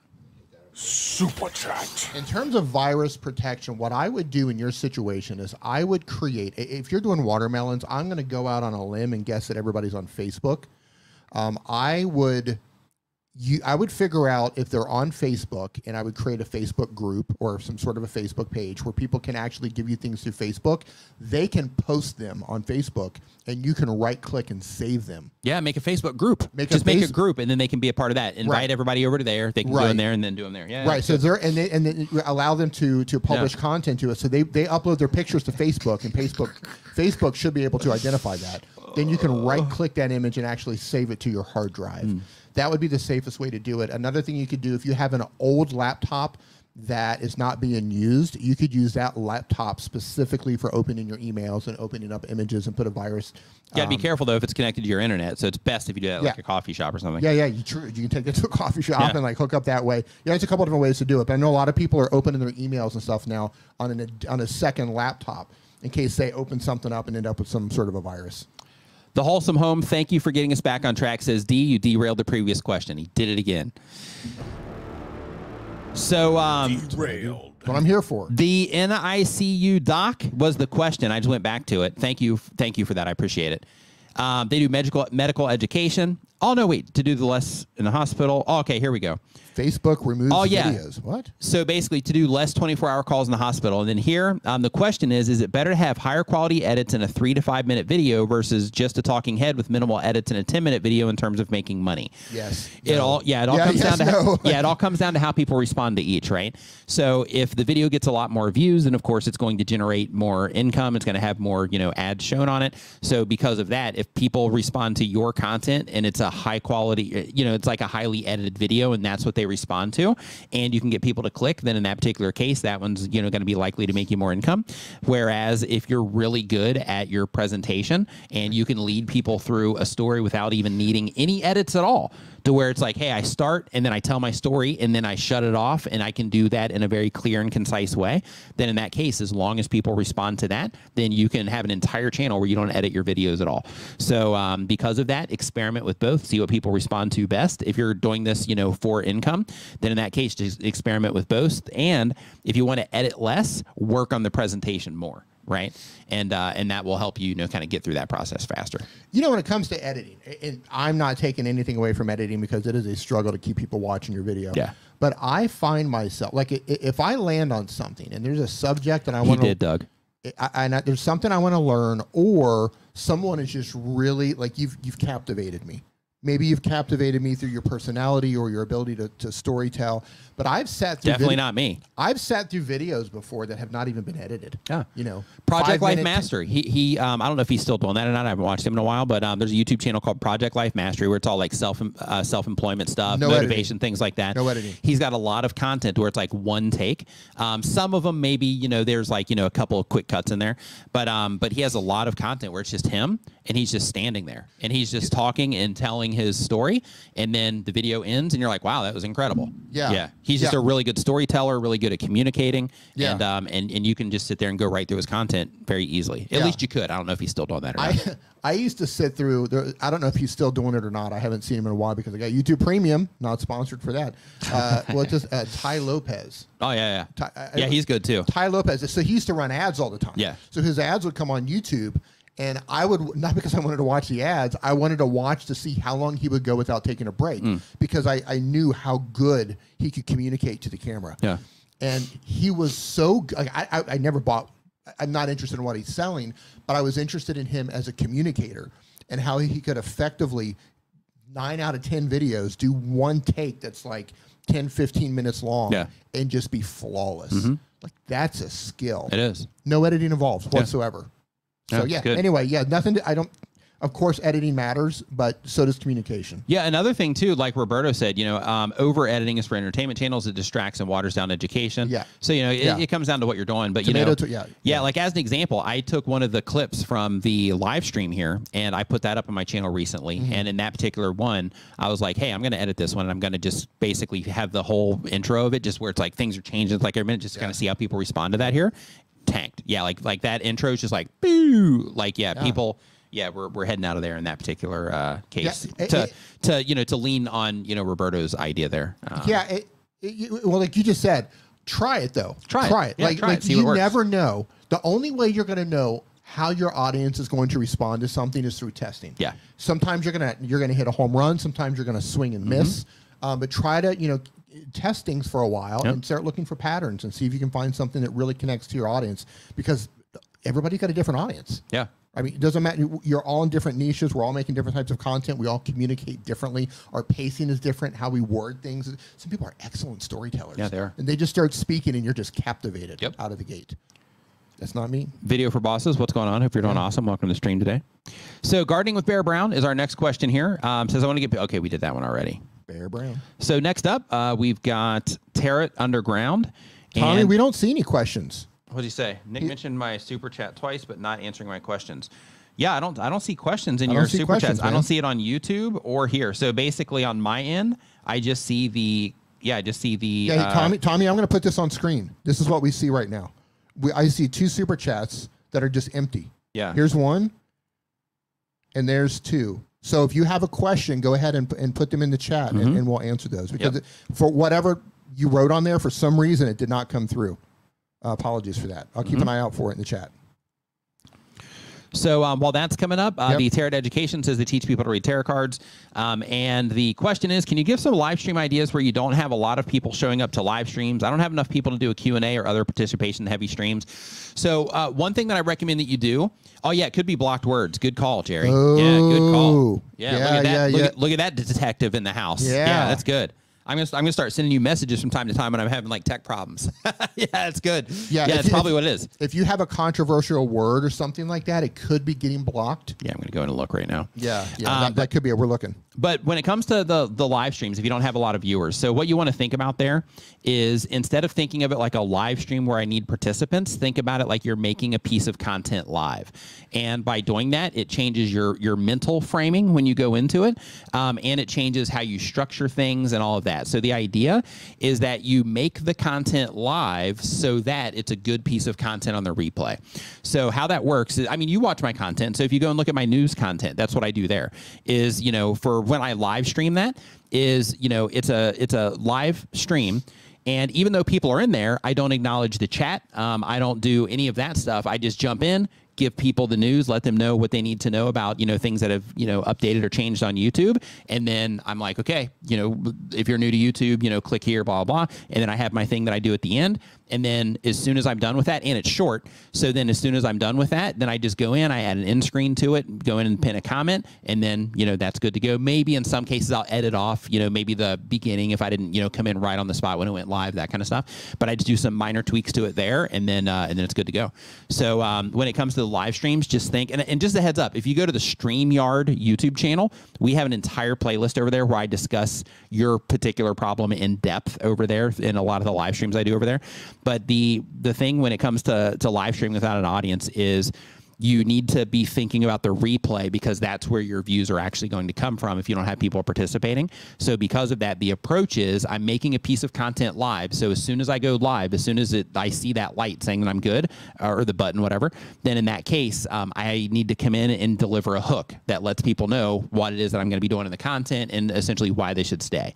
And then I'm going to start moving into the content. I'm going to try to get through that in an efficient way to where if somebody's watching it on the replay, it actually feels like a piece of video content content. And then when it's in, when it's finished or coming to an end, then I recommend another piece of content on my channel for the, the viewer to go and watch. And then uh, and then you end the stream. So that's the that's the idea in terms of you know how you actually want to set that up so that you can get the full advantage on the replay without you know without any live participants at all. Mm. Good question. Next up.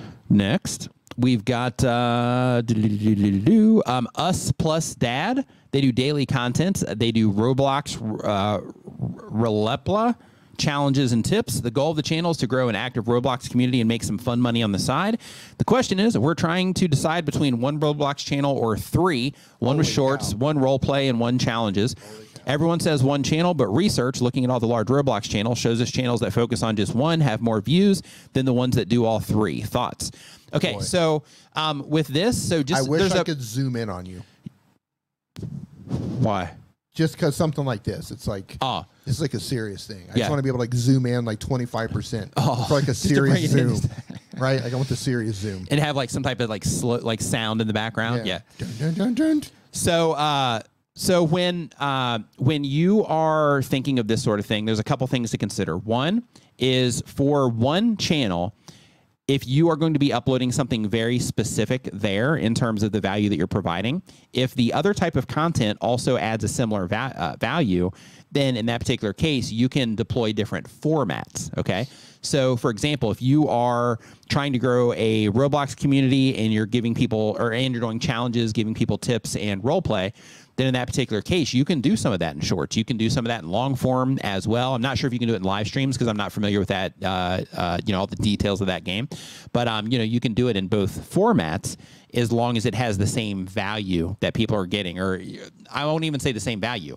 As long as the people that are interacting with the content are your target people that you're trying to get to watch the content. So, for example, you're clearly trying to reach people that are interested in Roblox. So, because of that, if your Roblox content, if you're doing like uh, you know challenges and tips, for those people that are interested in the challenges and tips and watching you go through the process of doing those challenges and or tips, then in that particular case, they won't care if it's a long form video or if it's a short um, if it's something that you know that they enjoy if you put it together right so because of that what i recommend is start with doing everything on the one channel and then from there, what you're going to be able to do is you're going to be able to go into the grouping feature inside of your YouTube analytics. I have a short on my YouTube channel that shows you exactly where to find this.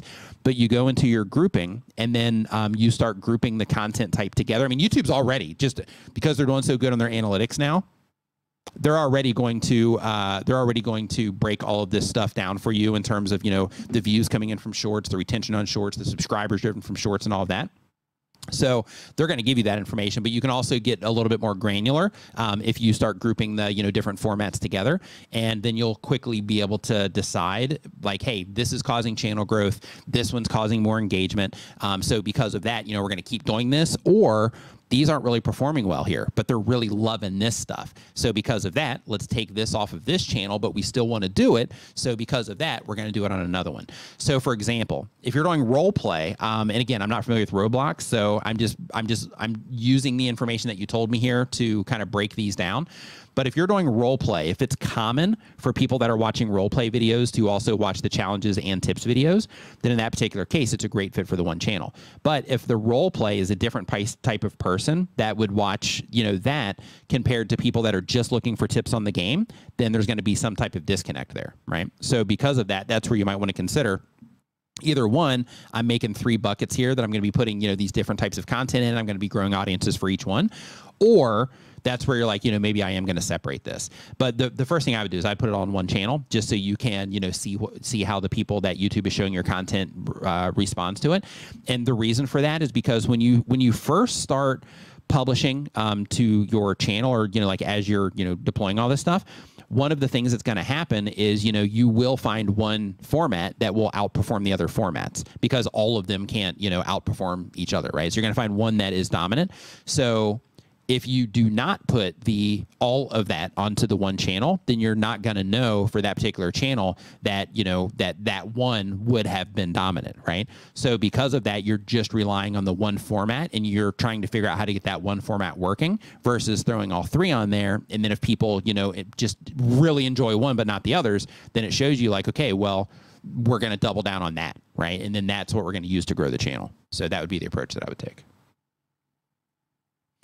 um, let's see here. Next up on the list, did that question come through? By the way, No, I didn't see anything. He said, um, I'm uh, looking. no I'm looking in weird- Streamsy to see if he has it in he here. said Hold no on. weird words mentioned. Um, And congratulations see. to Liz. Uh, Liz Bianco, my design Sherpa, says I just reached a thousand subscribers. Thanks for all. Nice. Congratulations to you. Held for review. I don't see it. I'm looking for Doug. Yeah, I don't Doug, see it yeah, I don't see it either. Nope. Tommy, I, you must be typing because he says it still didn't come up. You must be typing Yeah. something that's getting blocked. Um. Yeah. Yep. Um, let's see here. So next up on our list here, you know, I'm actually going to look in this list and see if maybe Yeah. for some reason it popped up. You know, it's not coming up. So basically, we have Streamyard that's pulling this in. We have a secret system that you, that we're not telling anybody about yet. That's also pulling in your super chat, and we have YouTube. Yeah, and none of them pulled in the um pulled in the pulled in the words. Yeah, Tom, you can try posting. Yeah, try it over chat. on Dee's. Yeah, Yeah. go to go to Dee's video because he's he's Yeah. streaming this too. Go over to Dee's channel and see if it uh see if it goes in there. Yeah, and, and- like negative five says, um, you know, rephrase it um and try to say it another way. See if that gets Yeah, it through. and, and, and, and I'll say this: if you're mentioning a particular brand, like if you're mentioning a brand, space those letters out Yeah. because I know there's some brands that I just I don't support, and I put them in my block list oh, okay. Okay. just because I was like, you know what, I think that brand might be trash or whatever, oh, okay. or okay. Yeah, I do the same thing. yeah, yeah, yeah. So yeah, it could be a particular brand or whatever. If so, just space out those words and, and rephrase it. Yeah, if you could just type it in the chat, uh, Tommy. Like, uh, you don't have to give another super chat. Just just type it in the chat, and uh, and and and that should be enough. Just type it in there normally. Yeah. Yeah, you can also send it on Twitter. Um, you know, if you want to uh, to Dee maybe. So um, let's see here. So next up, we have her heel review. Her heel review. Um, they upload one time per week or more. They do TV and movie review content.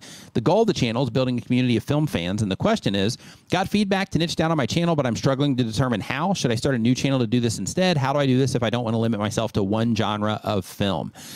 So uh, let's see here. Her heel review.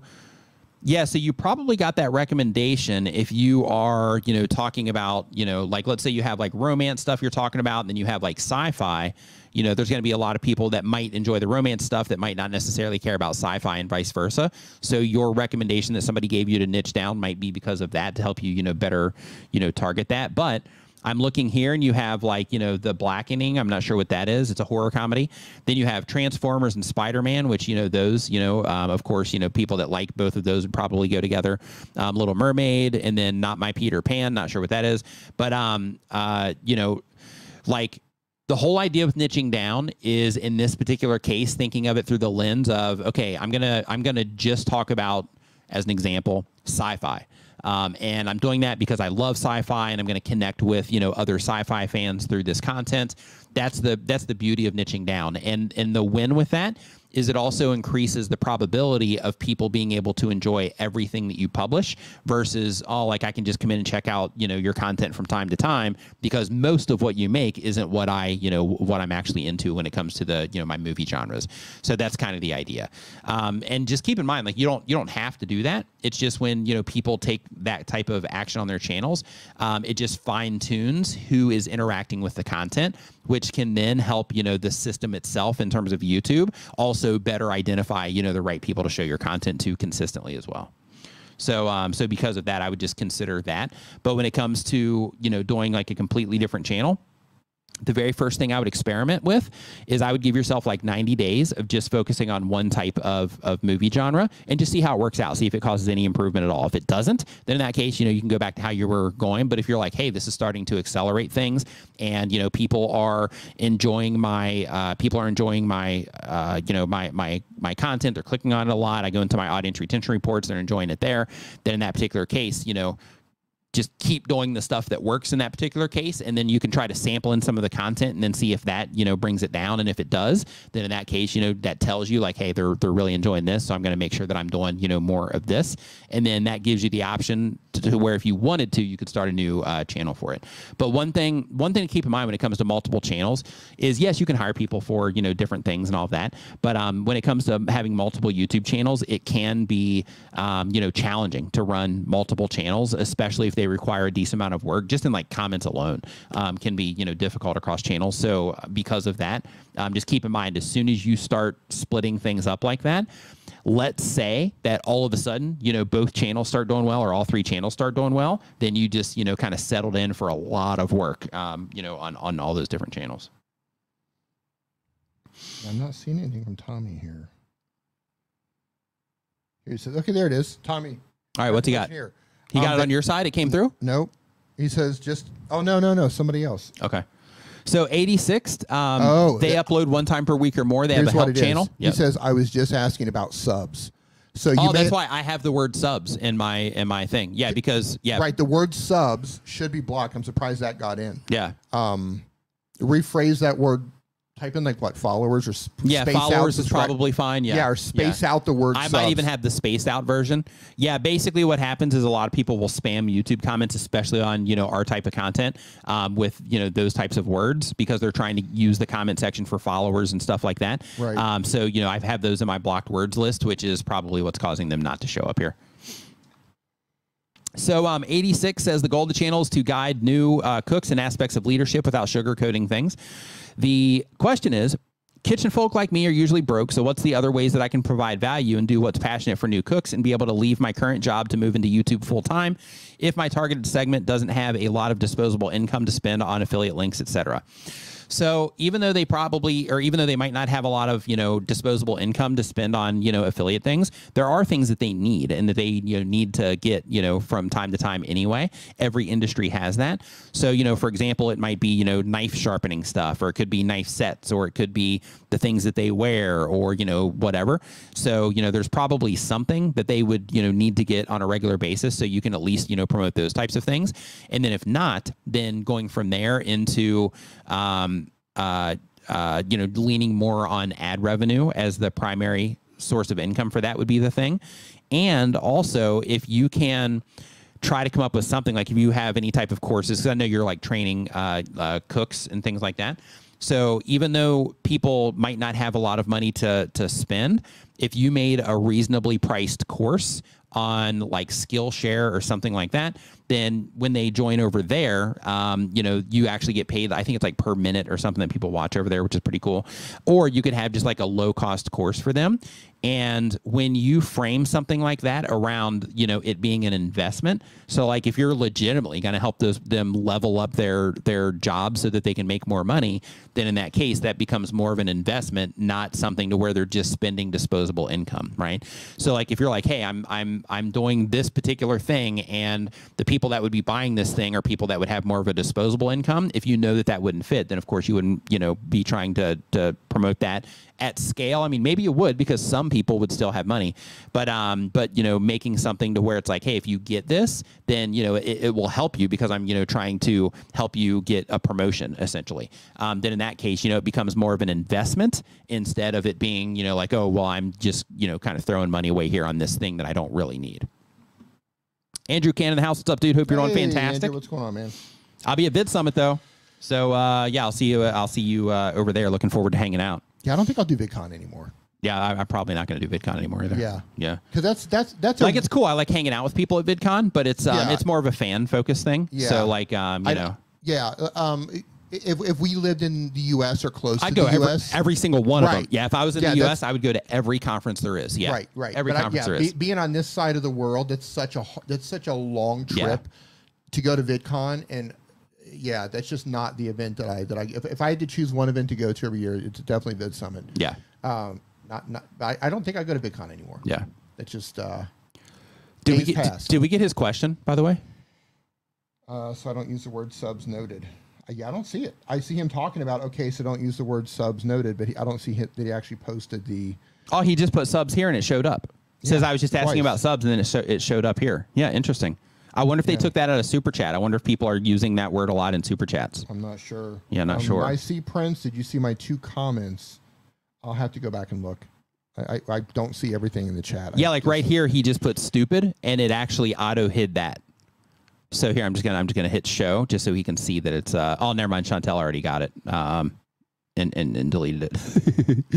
so yeah, so no no worries. So hey man, if you just want to send me an email or send me like a DM on Twitter, um, then I'll just once the stream is over today, um, or I probably won't do it after the stream, but like tomorrow when I'm waking up and I have coffee and I'm checking my DMs, I'll I'll, I'll shoot you a message um, and, and answer whatever question you have. Do you do your DMs over coffee every morning? Is that your thing? Sometimes, yeah, not not always. I don't really have a routine around it, but that's usually when I'm like in my phone. Is like you know I'll have coffee and then I'll you know have my phone open, looking you know at emails and you know checking DMs that kind of stuff. Do you wait? So I, I I have this problem that if I write anything online Mm-hmm.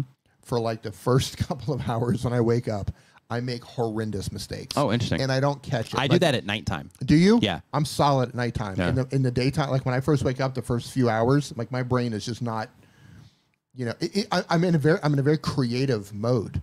But like in terms of writing something, like I'll like double up words or like mess things. Like my brain's just not there yet. Interesting. It's yeah, just I'm, like I'm full creative creative. I'm creative at night. Me too. Um, but in terms of like you know admin type stuff, that's not the best time for me to do that sort of thing. Yeah, you got a super chat.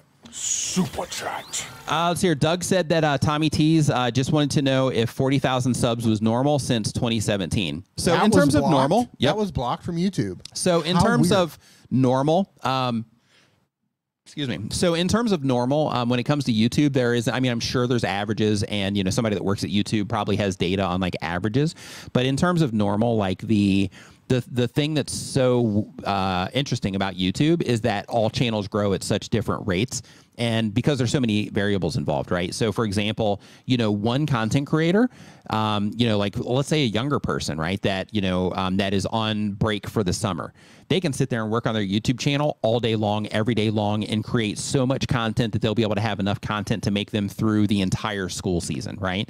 Whereas somebody that you know has a job, they have a family, um, they also have other hobbies that you know they spend a lot of time with, and they don't have a ton of time to you know dedicate to their YouTube channels.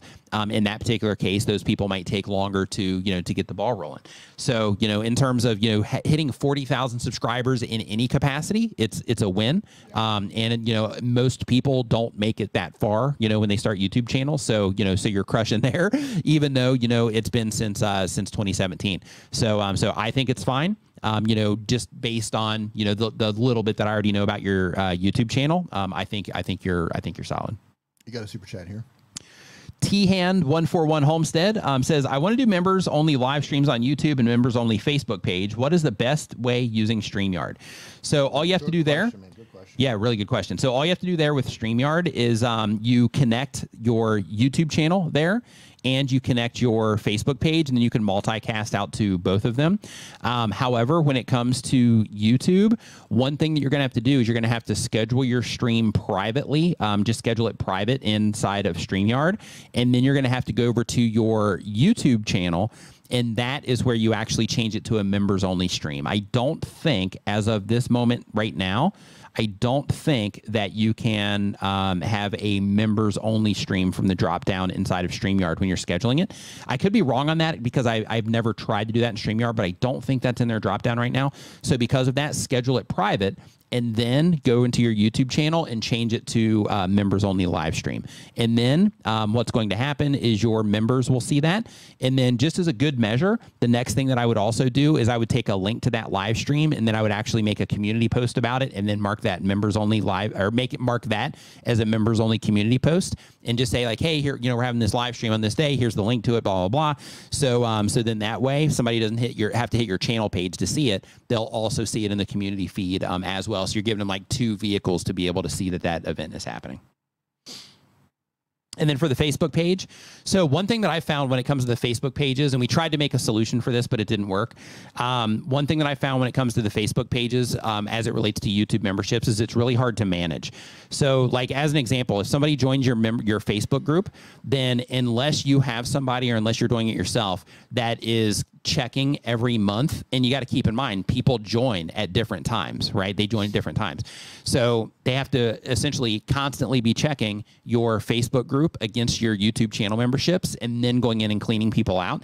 And another complication that you have is when people join on YouTube, that Travis MVP in the house. What's going on? MVP in the house, MVP in our world. What's going on, my dude? Hope you're doing fantastic. Nice Always to uh, see you. MVP. Yep. Always. Always the MVP. But um, but another thing there is like uh, when somebody joins into the Facebook group, you might see their channel on YouTube, right, or their name on YouTube, but that might not necessarily match their real name on Facebook or the page that they've created on Facebook that they joined your group with. So because of that, it's it's actually kind of complicated, um, and I'm actually in, in the process of looking for solutions because a problem that I have is I also have people in my Facebook group right now that are not paying channel members, and because of that, um, when I put content in there, they're essentially getting access to that content, you know, without anything in exchange when other people are, you know, paying for that. So I don't think that's fair.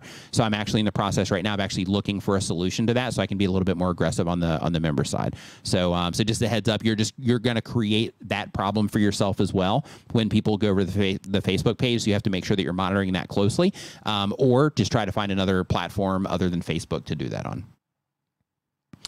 Uh, Rich Graham says, "Hey, hey, hey, Nick, can't wait to meet you at Vid Summit. Nice, love that you're going to Vid Summit, and yeah, man, I will see you there. Love it, love it, love it, love it, love it." So uh, let's see here. So next up on the list here, we got uh, we got 86 taken care of already. Let me scroll to the top of the page. Bam, How are we doing on questions? and we've got uh, we are number 20 right now. All right. Yeah, cruising through these. So right we, along. Yep. So we got behind the videos is our uh, next question here, and we have they upload one time per week or more. They do stories of YouTubers. That's interesting. The goal of the channel is to show interesting, motivating, and entertaining stories of YouTubers. And the question is, I get uh, 30% retention on my videos, five to 10 minutes long. How do I improve this and hook people to watch the entire video? This is something you're going to learn along the way. So what you want to experiment with is obviously how you start the video. So I don't know if you're on camera. I don't know if you're showing the YouTuber on camera. I don't know, you know, exactly what's going into your content. But what you want to experiment with is playing music, not mu- playing music, showing yourself, not showing yourself. Um, you know, the different B-roll. So for example, are you starting with like a graphic talking about the concept that you're going to talk about, or you're going to show a graphic or a video of the YouTuber that you're going to talk about, and you know, trying to you know keep their interest that way. So when it comes to YouTube, especially if you're doing stories of YouTubers,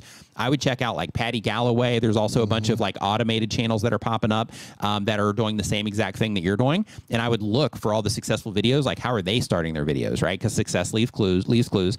So just going and looking at all of those you know videos that are doing the same thing, or all those channels that are doing the same thing, and just seeing like okay, how are they grabbing attention? You know, when when their videos first start, how are they telling their stories? How are they getting their story off of the ground, right? Um, those are things that I would definitely look into there. And like Doug said, better storytelling, better script writing, right?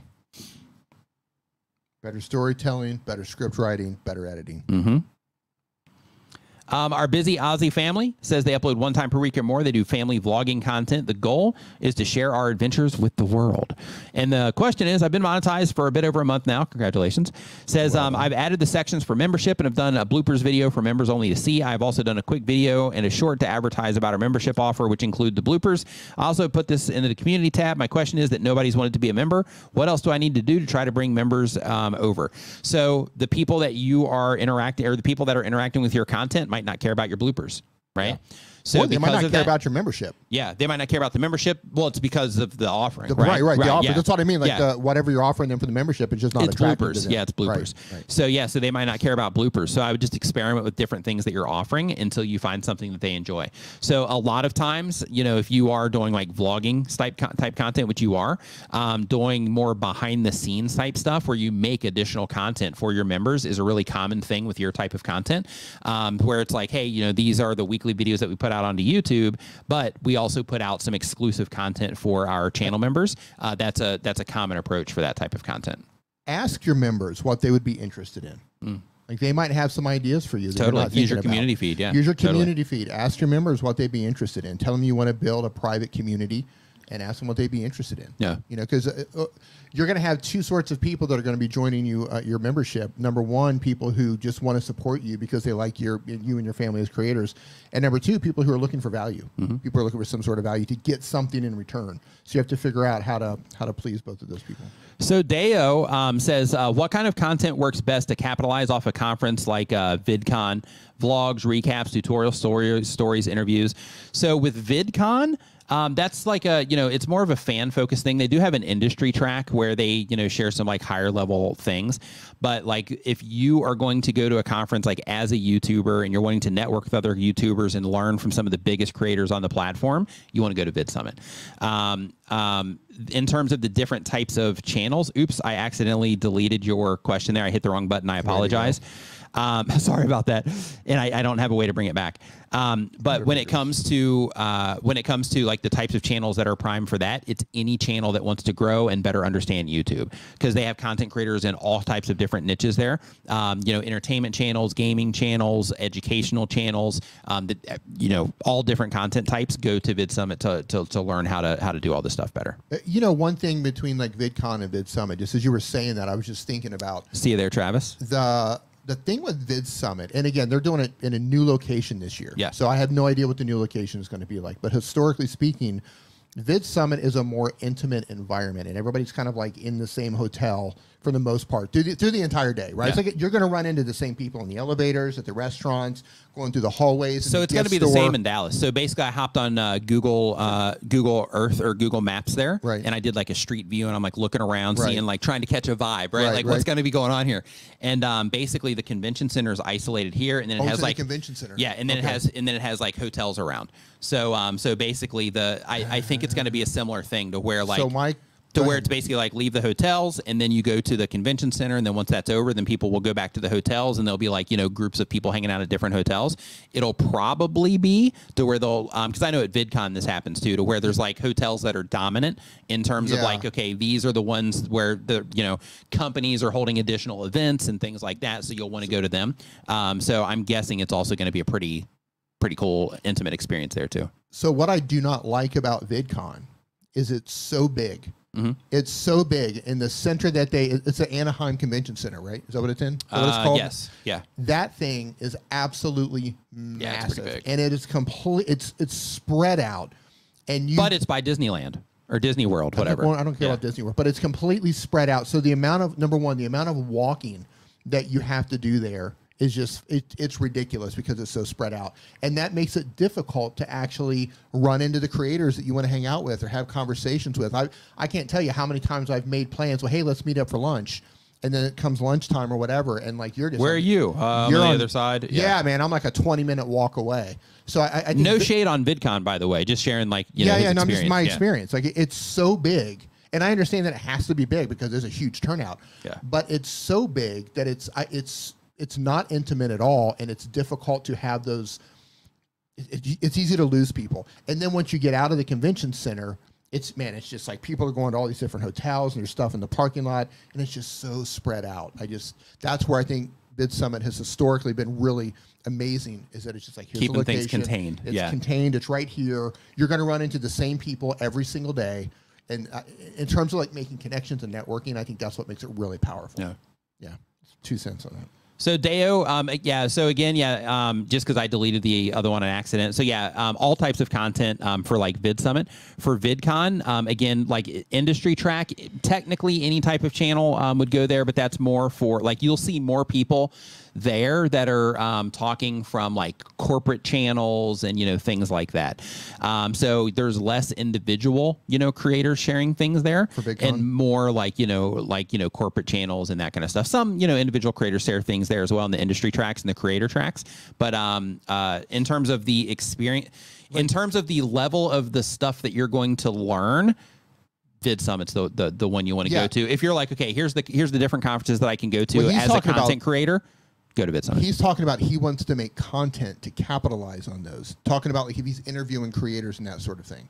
So it, it, yeah, if you're doing that, oh So I if you're see. doing- uh, here's the oh, i thing. misunderstood I'm yeah. So if you're going to go to VidCon, you're going to see a lot of creators who are speaking there. A lot of creators totally go there. inter- totally interviews and vlogs yeah any type of collaboration yeah, Yeah. where you're doing like interviewing people because that will give you the opportunity to do very quick interviews with people that already have audiences Yeah. but keep in mind um, which means that you know if you put them in the thumbnail that you know some people click on it because they're on it but one thing with that is remember that you know when you go there it's more of like a you know working and networking thing and people do make videos i make videos there too Yeah. but um but it's more uh you know about that conversation and then you save the videos and you know things like that for you know more downtime and you know that kind of stuff Yeah. I, still, if I had to go, if I had to choose yeah one where vlogs I would do and interviews vlogs and day. interviews and, and stuff, stories I would yeah. go to Vid Summit for that as yeah well. yeah For people are, because everybody's accessible Every, exactly. Right, That's the thing. yeah, Like, oh, oh yeah. oh, hey, hey, hey, Nick, how you doing, man? Yeah, Hey, VidCon people Dude. are behind like they put them in different sections and they Yeah. kind of section everybody off from the public. But at VidCon, you know, we're all peers at VidCon. Yeah. So, you know, because of that, you know, you'll be in the hallway and then like you'll look over here and then like Ryan Trahan will be standing over here like talking to somebody that has like 300 subscribers on their YouTube channel. Right. Trying to tell them like how they can make their channel better. And so VidCon, yeah, a, VidCon is really they, they like have all these different tiers, and even if you I get feel in- like we're doing a commercial. No, no, no, no, no, no, no. And, and even if you get into this tier, like even if you're on like Yeah. the creator space, like maybe Instagram will be there and they'll section off this area, Right. and you're gonna have a special pass to get into Yeah, there. YouTube does that too. Yeah, and Yeah. if you don't have like you, you know, it's like you just get shut out of so many things at Yeah. VidCon. In my experience, Yeah. know, I'm, uh, I VidCon, you're watching it. Vid Summit, you're in it. man nailed it. Yeah. Yeah, Tommy T's Extreme Roller Coaster um, says, uh, "Thanks, gents. You, you both and Daniel are the three I follow every week for updated content and weekly news. Thank you for that, man. Really appreciate it. I'll say this: I've never gone to VidCon for anything other than to hang Than out. hanging with- out. Than hanging Yeah. out. I go to Vid Summit for hanging out, for networking, for speaking, for Learning, yeah. learning. For yeah, yeah, like Vid Summit's everything, uh, everything rolled into one. VidCon for me is just hanging out. Yeah. it's just hanging out. Because I, I'm not really interested in hearing like you know people who work in Instagram give talks, Right. Because that's you get a lot of that. yeah. So, um, Unless it's like Todd, then I'm going into Todd. yeah, Or- but yeah, or him and, Rene, him and Rene did a talk. or Roberto. there. Yeah. you know, there's some people who will go in to hear him talk. Yeah. Uh, Um, T's Hot Miss History says Vid Summit is at my birthday time and in my state. I look forward to meeting everyone. Um, gift ideas, diamond and cash. See y'all soon. I love it. Yeah, see you. Uh, see you there. cash. Diamond and cash. there we Love go. We're bringing gifts. Callister's recipes. What's going on? Hope you are doing fantastic. You just got roped into cash. Yeah, it's great. So um, next up on our list here, um, we have. Um, let's see what we've got. So we've got uh, Fish Head videos. They do fish camp, cook, and nature content. The goal of the channel is fun, family, and eventually income. Question is Is there a way to stop YouTube from automatically setting my mobile live streams to private at the end? With under a thousand subs, I need the watch time during the stream, but lose it when it gets set to private. Absolutely. What you want to do, and this is going to be a little bit difficult if the only thing you have to access YouTube with is your mobile device, but you can do it.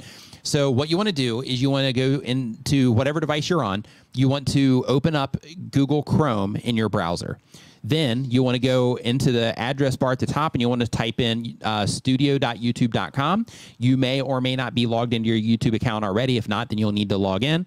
But once you hit that, it's going to try to force you over into the app. Instead of going into the app, instead, you want to hit the um, three dot icon or the three dot menu, which is down in the bottom right hand corner, and then you want to scroll up and you want to go to the option that says request desktop site. And then when you click on that, then it's going to start showing YouTube and anything else you visit um, as it would look on a computer. And that's going to allow you to get into more specific things like audience retention reports, you know, additional settings, things like that. So what you want to do in that case is you want to um, go into your upload defaults. So when you go into your uh, setting there, actually, no, no, no, you actually want to go into your live stream uh, settings for this. So give me one second. Just pause for a second. Are you and I, I haven't used YouTube to stream directly. Are you telling me that they're doing all of that so you don't hold on? I'm walking through this right now. Hold on, go live. Have they not fixed that yet? Hold on. Here it is. No, I no, it, it is fixed. What? So you've got visibility as soon as you go live. In StreamYard? Are they talking about StreamYard? Or you No, no, no, no. directly Yeah, to YouTube? yeah. They're, they're talking about YouTube. His problem is, um, is when the stream is finished, it's automatically privating the video. because they've got their visibility set. No, differently, or- visibility is what is if people can see it or not. Right. So what what is happening is people When can it see it when he's live, but when, it's ends, end, it it's takes it off. and it's automatically going out. Yeah, so you need to actually schedule your live stream, and then once your live stream is um, scheduled, then you need to go into your uh, details page. I think it is. Give me one second. I'm trying to find this here, um, but I think you need to go into your video details page of your live stream. And then I think there maybe is where you check that option. But basically, here's what's going on. So That's YouTube, so chaotic to have to do all that. so Yeah. YouTube has an option for live streams that you have to check that says to keep your live stream public uh, when it's finished. I'm looking on the videos details page and it's not here. Okay, so then that would actually happen in your live stream settings for the content. I can't go into that now because I'm currently live. Um, but basically, what happens is you want to schedule your stream and then you want to go to into it the same exact way that I told you using Google Chrome.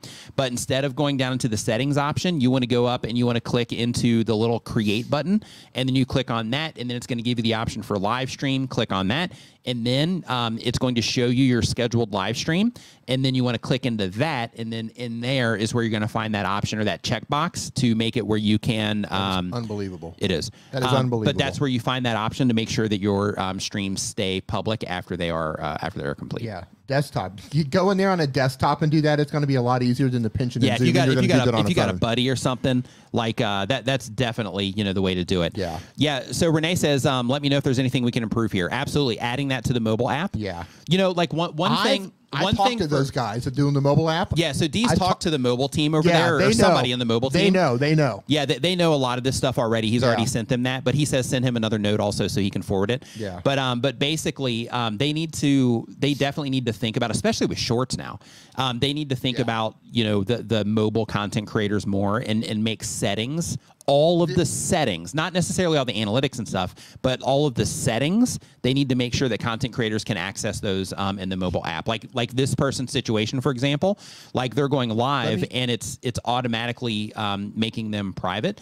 So because of that, um, unless it's been added recently to the mobile app, I don't see even upload looking. even upload defaults. Um, I believe I don't think are in the mobile app. Well, so like little things like that, to where you know a content creator can just get all that stuff set up on their mobile device for all the people that only do YouTube on their phone. I think would be just a really big, uh, you know, just a really big benefit to mobile content creators because historically, uh, you know, YouTube has, uh, you know, prioritized desktop, which makes sense, you know, um, in in some cases. but make but sense. These days, because so many people are making content with just their mobile devices, making everything uh, you know more accessible for them, um, you know, definitely makes definitely makes sense. Yeah, we're talking about live streams. Here, here's the Yeah. thing that boggles my mind. And again, I, I'm not no shade. I think YouTube's doing an amazing job. But Yeah. and but but there's just some things where you're just left thinking like, what are you guys doing? Yeah.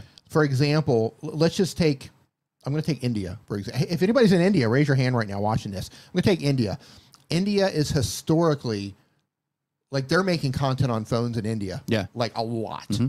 And U.S. too, like you know, there's right, a lot right, of but I people. mean, yeah. but I- I if would- you only really quick, just for the chat, for the Yeah. people that are here right Yeah. now, if you are somebody that only makes videos on your phone, like you don't do any of this stuff on a computer, you only use your phone to create content, upload it to YouTube, and optimize it and everything. Like you do everything on your phone.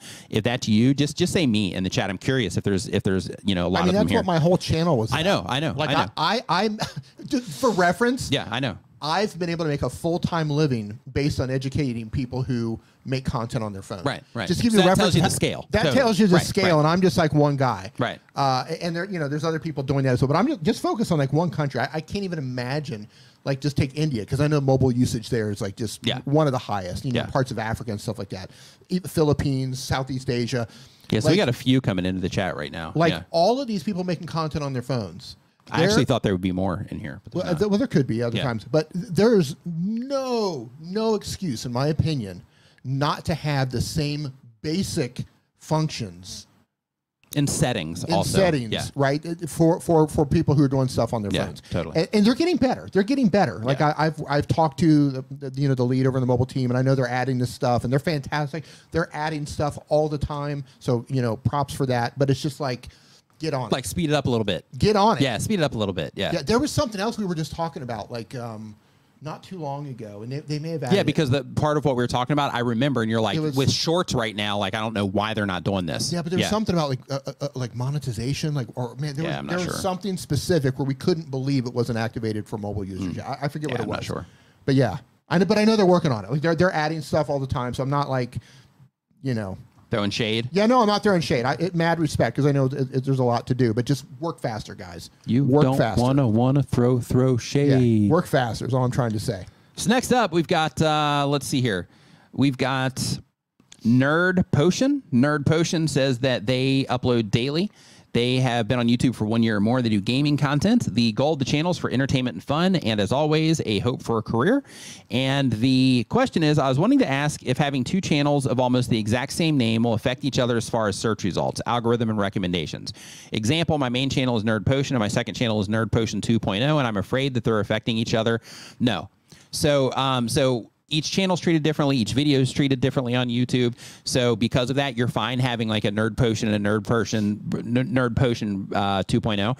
Another thing that content creators, you know, you'll typically see on YouTube is you'll have content creators that'll have a main channel, and then once they get a following, they'll have people asking questions about their lives and things like that, and they'll say like, well that's not what my channel's about. You know, I talk about, you know, TV reviews, but since people are wanting to know all this stuff because I kind of, you know, talk about it every now and then in a video or live stream or something, I'm going to make a vlog channel. So then instead of it being, you know, like, uh, you know, Nick Nimmin, it would be Nick Nimmin vlogs, right? And people do that kind of thing a lot too. So, um, so uh, yeah, you, you don't have anything to worry about there. The, you know, everything's basically going to be based on just how people respond to the content on each channel. That's the most important thing, and that's really the only thing that will make a difference there. Did you see what Doug wrote? And, and yeah, and I forgot about this. He says, um, YouTube says to help make YouTube safe community for everyone, we may limit the amount of viewers on your mobile stream. So that's convenient. Thank you.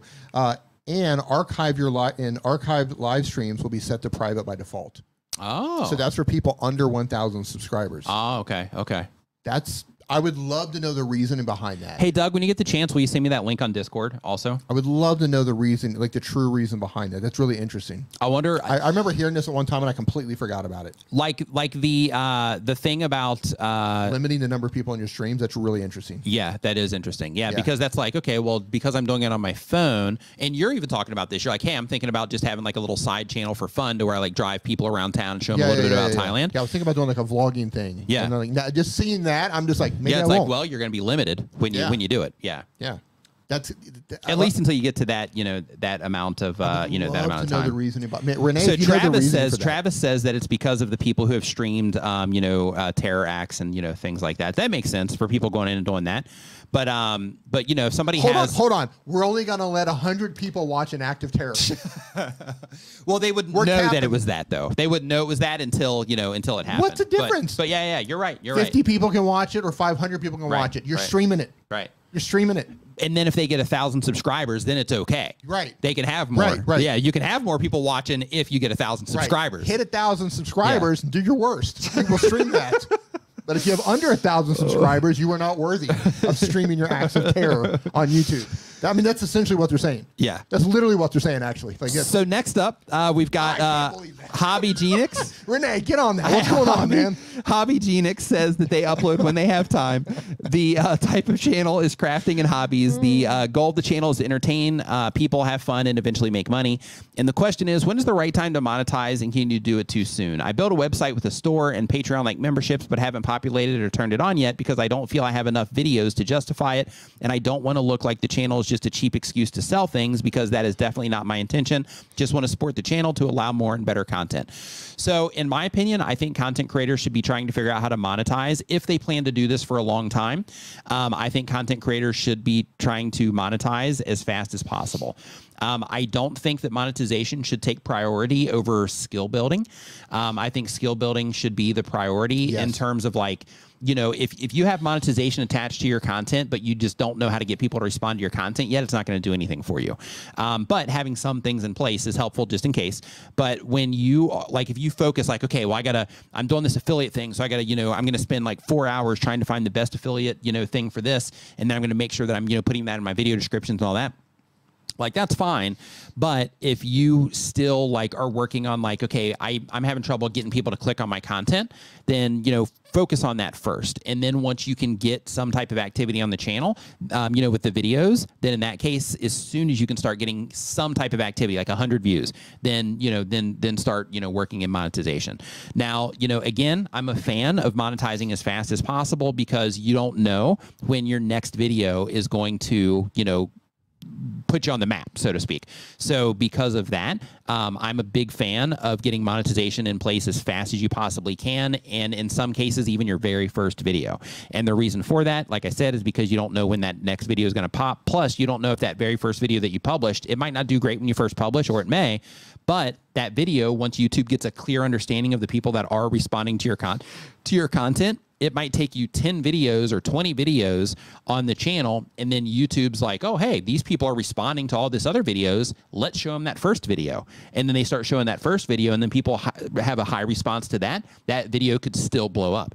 So, you know, because of that, having some of those things in place is really advantageous, but I would not sacrifice like the skill building side in order to, you know, get those things in place if you know you're still working on like man i'm just trying to you know figure out how to get people to watch more than like you know 18 seconds of my video. Um, if you're there then i would work on that part first. But if you're like okay i can get people through my video i've got people clicking on my content i'm getting like you know 50 to 100 views per video then going ahead and saying like you know what i'm gonna i'm gonna put something in here uh, you know some type of affiliate link or something like that um, while i'm waiting on ads or always um, is definitely something to do. Even in your case right you have this website that you built so there, you know, branding the website around what it is that you're doing, you could even do it in a subtle way to where when you start your videos, you're like, you know, I'm just going to pretend your name is Nick, but you'd be like, I'm going to pretend your name is Nick and your website is craftingandhobbies.com. So basically, when your video starts, hey, I'm Nick from craftingandhobbies.com. Welcome to another video, blah, blah, blah. And then you start getting into, you know, the thing. Or just start getting into the thing and then somewhere say, hey, you know, by the way, I'm Nick from crafting and, uh, crafting and hobbies uh, you know uh, dot com. Uh, or if you don't want to do any of that because of course you want to get people into the content as fast as possible another kind of sly thing you can do there that's non-interruptive is you can have what's called a lower third pop up on your video. A lower third is a graphic that pops up in the lower third of your video. So you can make that to where it just pops up says your name and then underneath your name it has your um, you know whatever value it is that you're offering on your website and then it has uh, you know that you know uh, dot com. So in my case if i was doing something for like tuber tools which is my website where content creators can get graphics for their videos then i would say you know uh, i would have my name nick nimmin and then underneath there i would say you know get graphics for your videos at tubertools.com um, or i could just put it down there for the sake of curiosity and say you know owner of tubertools.com and then by doing those two things it's like okay well uh, you know i'm spreading awareness about it without being like you know crazy aggressive about it just to make sure i have you know these things in place when i'm publishing. Got a super- really long answer to say Super make sure your skills are the priority and then monetize as fast as possible in addition to ad revenue. Got a super chat. It says, "Okay, Dee, this question's for you." all right Interesting. No offense, Nick. He says, hey no problem but how would you make a roller coaster video short?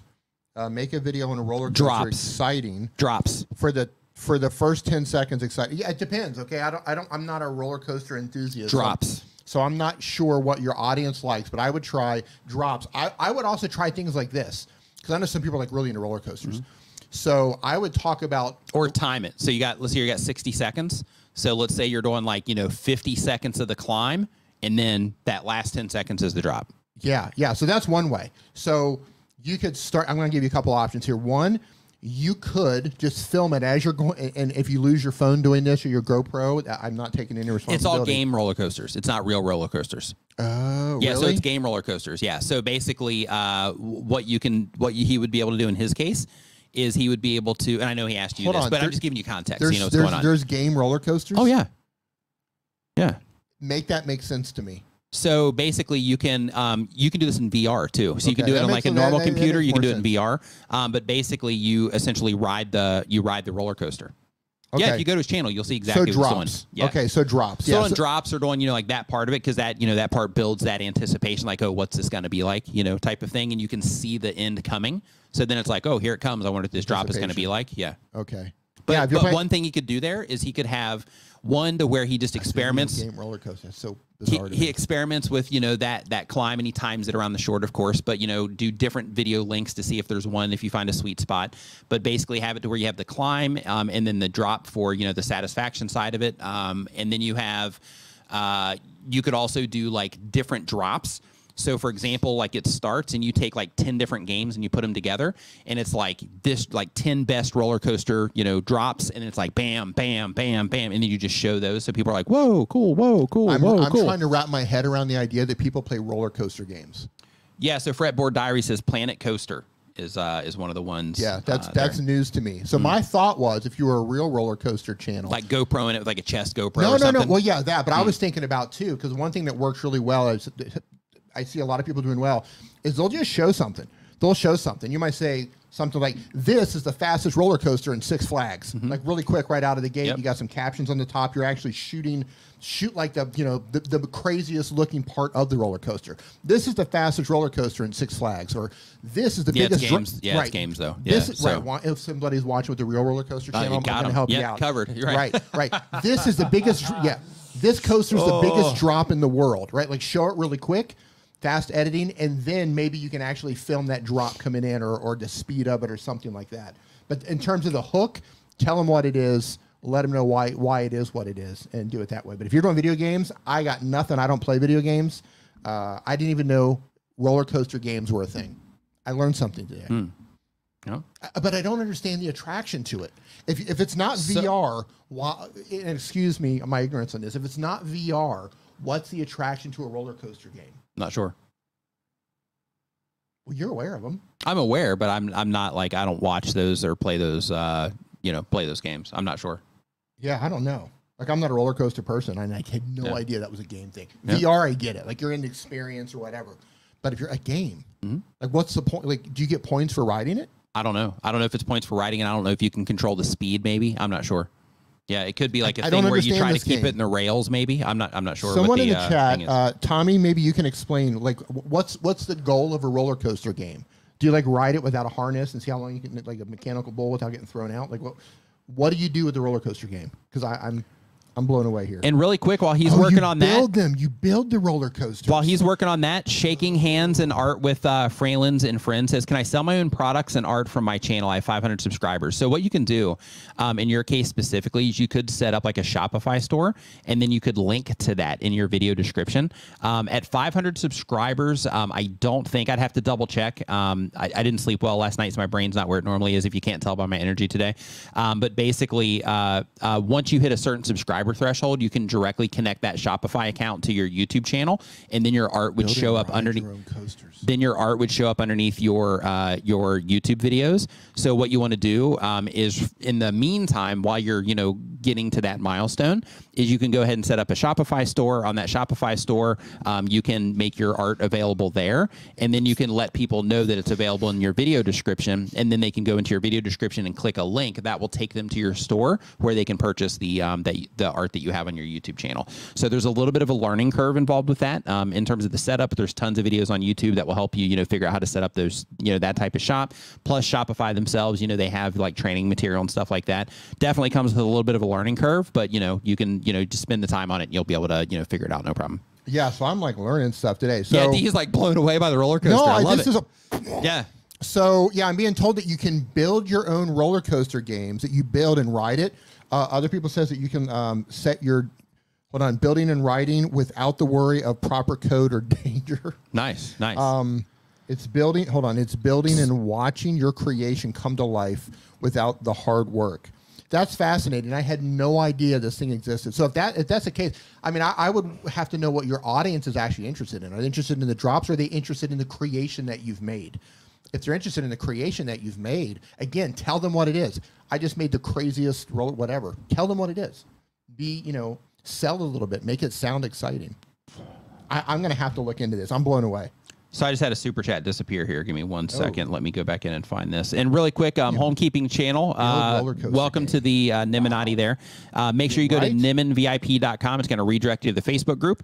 Um, and uh, uh, of course, fill out the information on the way in. If you can do that before the stream is over today, then I can get you in there um, before the uh, stream is over. Costume uh, Co says, "I'm not into gaming, but that sounds like so much fun." Okay, building a roller so coaster hold on really quick Awesome. so to upstate and beyond they said they just wanted to say thanks for all the tips and info um, their channel just recently hit 1500 subscribers now just working on our watch hours congratulations to you high five and fist bump for uh, for getting your first 1500 subscribers on your channel All right, I have to look into this. Somebody suggest a game to me, not where I can ride. I'm not interested in riding it. Where I can build a roller coaster and then like check the physics of it. Do they is that, do they do that? i have no idea Can you check the physics of the roller coaster you build? Somebody give me a name. I'm I'm fascinated. so um, it looks like they also have business management um, so i guess you can build one people want to ride and get more people into the park Oh, that's so interesting. interesting. Yeah, yeah, yeah, yeah, Tommy. Yeah, uh, send me some information on it. I, I, yeah, that's fascinating. Dee likes to build stuff Yeah, yeah, so yeah, ne- I'm- I'm- yeah so Dee might actually get into that actually Yeah, like riding it, I couldn't wrap my head around. it. I Yeah. really want to ride game or ride like VR. I get it, but just like normally, like you know, okay, woo, you know, Yeah, totally. but like yeah you like you sit in front of the computer right.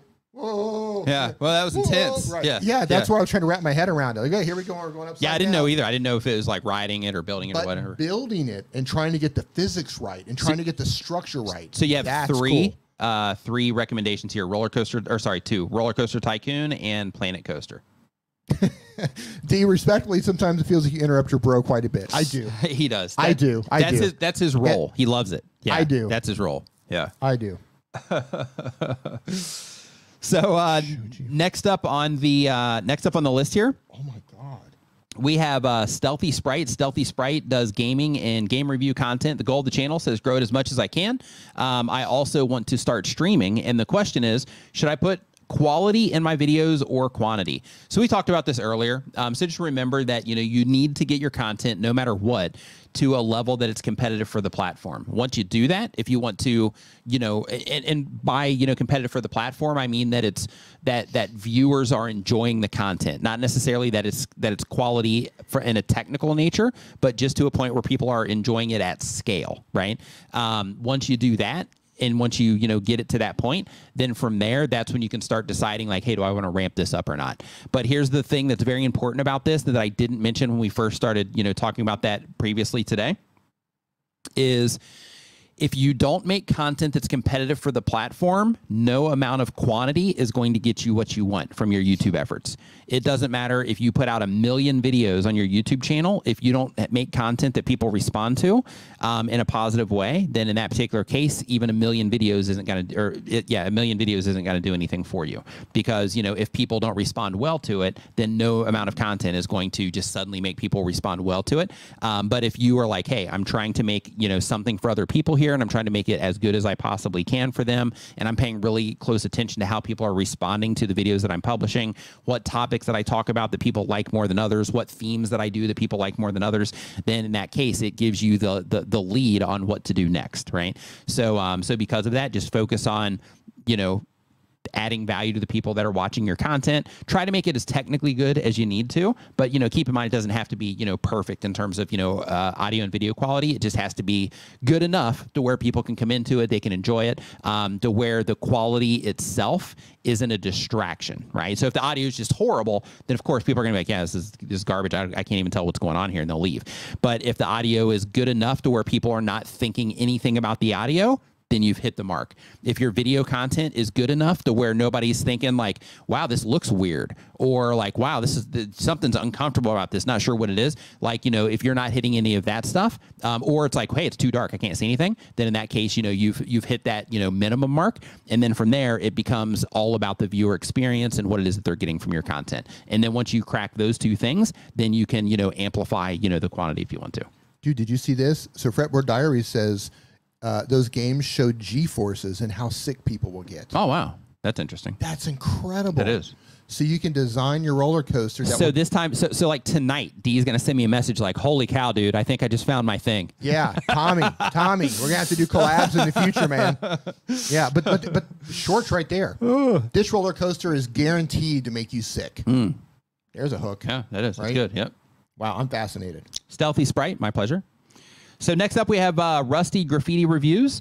Um, they do bi-weekly content. They've been on YouTube for one year or more. They do uh, graffiti products, and uh, it's a graffiti product review channel. I just want to say how awesome that is, really quick. What is it? Basically, the channel is re- from what I'm picking up here. They are reviewing products that people use for graffiti. That's awesome. That's super niche, and I love it. Yeah, I love it. Absolutely love it. But the goal of the channel is to pass my knowledge and experience um, with new projects to others. And the question is, I have no face review channel because the nature of the content. Totally get it. Um, what I want to know is, is there a way to go live, but with my face distorted, so I can interact with viewers but still remain anonymous? So they do have voice changing um, software, and they do have voice changing hardware as well. So um, I think, hey Dee, does your um, what's that thing you have over there that's not the RodeCaster but the other one? Does that have voice changing on it? Okay, so the GoXLR has some, but Dee says it's not that great. Um, uh, the RodeCaster Pros, the new ones, they also have voice changing things in there as well, um, where you'd be able to do that. You can pitch it up or pitch it down. Um, you also have like robot voices and things like that in there. There's also um, some software um, options as well. I don't have them here. I have them at home, and I don't ever use them, but I can't remember off the top of my head what they are. But if you have a Stream Deck, um, they actually have one in there that also, you know, is a voice changer as well, where you can trigger that there. Um, it requires a little bit of a setup on the software side, but you can absolutely, yeah, you can absolutely accomplish what you're trying to accomplish. Um, the hardware version is going to be more expensive, where the software version is going to be almost free, if not completely free. Um, let's see here. Next up on the list, we've got uh, Olisa Korobka. I apologize if I'm if I'm saying that wrong. Says um, they have a professional niche content about SEO. Very cool. Says the goal is search engine optimization. Um, in case you don't know what SEO is for everybody watching, um, the goal is to help people get better at search engine optimization and to get more profit or satisfaction and recognition from what they do. And the question is, should I try paid ads to get more views, or will it ruin my organic performance? So if people respond highly to your content, you can mix the two if you want to. Um, it's usually recommended that you don't because um, you know, in some cases, you know, like you could target the wrong audience. And then if those people start interacting with your content, it can kind of send your channel in another direction. So because of that, you know, if you do take that approach, you have to be kind of careful exactly who it is that you're advertising to and make sure that you are targeting everything properly. But if you can get an organic response from your content, you can support that with ads if you want to. Um, but one thing to, you know, make sure that you keep in mind is that you do not want to use ads as a crutch. And what I mean by that is if the content that you're making right now, if the reason that you're wanting to run ads is because you are having trouble getting people to respond organically to your videos, you got to fix that problem first. And the reason for that is because let's say you say, I'm going to spend like a thousand dollars on this video because I also have some other monetization things built in, which is another important part of it. Like I never recommend using ads just to grow the channel. Like you, if you're going to use ads, you should have a way to make a return on those ads. Um, you know, either through courses that you're selling in your particular case or other products that you have or something like that, or like an affiliate offer that's attached to the video or something along those lines, so you can get a real return on it instead of it just being a total loss for the sake of vanity metrics. Um, but when you are um, uh, if you don't have you know that organic response on your channel yet and then you're just like hey i'm just going to flood you know this with ads then it might look great from the outside but what's going to happen is as soon as you turn off your ad spend if you haven't learned how to get that organic response yet then what's going to happen is all of your traffic is going to dry up because you still even if youtube says hey here's uh, you know one of uh, Olicia's videos on a homepage to one of the people that interacted with your content. If they show one of your pieces of content there, if you haven't learned how to get them to click yet, then they're not going to respond to your content because they're still not going to click, right? So because of that, you know you have to make sure that you get all of that under control first, and then once you get all of that under control, then that's where if you want to, you know, supplement what it is that you're doing um, with ads, then you know you can definitely do that. But from what I'm looking at right here. Um, it looks like you know five months ago you had a video with like 2,000 views on it. You had another video with like 1.8 thousand. So you are able to get people to click. Um, so you know because of that you might be okay. You got another video here with like 6,000, another one with 3.8 uh, thousand from uh, you know two years ago. So you might be able to get people to click. So because of that, in your case, if you wanted to supplement, you can. Um, but you know just keep in mind that when you do that, you have to make sure that you're targeting everything perfectly because if not, you know, it can end up, you know, that whole attempt can end up kind of blowing up in your face, so to speak. I recommend, you know, organic. Um, you know, it just focusing everything on organic growth if you can. But um, but you know, ads is definitely something you can supplement with if you want to. Next on our list, uh, we've got Learn Spanish World. What's up, man? Hope you're doing great. It says um, they do educational content. The goal of the channel is to provide educational value to my YouTube community while I work hard in order to become a full time YouTuber. And the question is I've been um, offered several sponsorships in the past few weeks. However, most of the offers involve downloading large files and software. I'm worried I could be downloading viruses or that someone may try to gain access to my channel. I've heard a few horror stories about people losing their channel after downloading fake sponsorship related files. How can someone determine if a sponsorship is genuine? Thanks, amigo go. So if somebody is a software company, like for example, um, like you know uh, the agreements that I have with Camtasia, right? As part of that, you know, I get a copy of Camtasia. So I mean, I I bought it in the past, but you know, as part of our you know deal, I get a copy of Camtasia um, that lasts for the duration of our deal. And with that, you know, I need to download that software so that I can use it. But they're a reputable company. Um, if I had some brand new company pop up and they were trying to get me to do that, I wouldn't. I just wouldn't do it um, because you know, like you're saying, you know, there's so many horror stories right now. I would never download a zip file from anybody. I would never download, you know, a piece of software unless you know for certain that it's a reputable, a reputable company. And you can check that by, of course, checking out their website, but also going to their LinkedIn account, seeing what's going on there, going to any Facebook pages they have, see what's going on there, and just getting an idea of like, okay, has this company been around a little bit? Are they reputable? You know, that whole thing. Um, you, yeah, you really have to be diligent there in your research to make sure that um, you know the, the, the the people that you're interacting with are solid. Now, of course, there are other things like you know you know you can check your email headers and you can see where the email is coming from, making sure it's coming from you know the company that they're saying they're you know representing that kind of stuff. But what you're talking about here, where you download like a PDF or you download a, a zip file or a piece of software, that is like the those are the number one ways that people get access to people's YouTube channels. Um, so I would definitely be extremely cautious with that um, because you don't want to put yourself, you know, in that situation. Um, let's see here. Next. So um, we've got uh, Legend Deshawn. Legend Deshawn says that they upload every other day. The type of channel is GTA ARP um, and zombie style games that are free. The goal of the channel is to create a big community of like minded people who enjoy games similar to mine and um, try to give me and my wife a great life. And the question is, how do I make my channel stand out over others and make better quality videos? So, the very first thing, um, of course, when it comes to making better quality videos, is looking to see what everybody else is doing and, you know, getting your stuff to, you know, that level. Um, of course, everybody's going to interpret quality differently. You have like the technical quality in terms of like your camera optics, your audio quality, the editing, you know, the style of your editing, all that. And and then you have viewer perceived quality, which is does somebody come into the content and enjoy it? Yes or no. And it, does that happen at scale at a competitive level? Yes or no. So that's you know how you make sure that you are competitive in your space. Um, but when it comes to standing out, um, I'm not sure if your wife's part of the content or not, but like, you know, you or you guys, they like you are going to be like the core thing that helps you stand out. But in addition to that, trying to come up with different themes that other people are not doing is something that can also help you stand out. So, for example, if everybody's doing like let's plays and guides and, you know, those sorts of things, then in that case, you could be doing like, you know, um, this isn't really playing the game. This is just making videos about the game where you are, you know, um, like, you know, jumping off of something a hundred times times in the game, or you are seeing like how exactly how high you can jump from before, um, you know, before it hurts the character, you know, something like that. Um, but you know, you start doing, you know, just different themes than what everybody else is doing. Um, and one really easy thing that you can do here is you can look across different gaming genres. Um, you know, people that cover different games and just see like what are some things that they're doing in Call of Duty that they're not necessarily doing in like this zombie game, or what are some things they're doing in Fortnite that they're not doing in this in this you know zombie game, and then start applying some of that stuff to the uh, to the zombie game if you don't have your own original ideas, and then from there you know try to um, you know stem off of that and try to come up with you know some more uh, some more unique stuff. But standing out on YouTube is, is pretty easy. So, you know, like, um, you know, th- that's going to come down to like your style in terms of how you're making the content. It's going to come down to the themes that you have on your channel, and then it's going to come down to your personality. Since everybody has, you know, wildly different personalities just as human beings, um, you know, that by itself is going to be something that's going to, uh, you know, make a big difference. And of course, if you're great at the game, then that's also going to be something that's going to make a big difference as well. Because, you know, if you're like, if you're like, hey, you know, I'm trying to grow this channel, but I'm really bad at the game, then in that case, you know, um, you know, that, that may not be as interesting unless you make being bad at the game a part of the thing, right?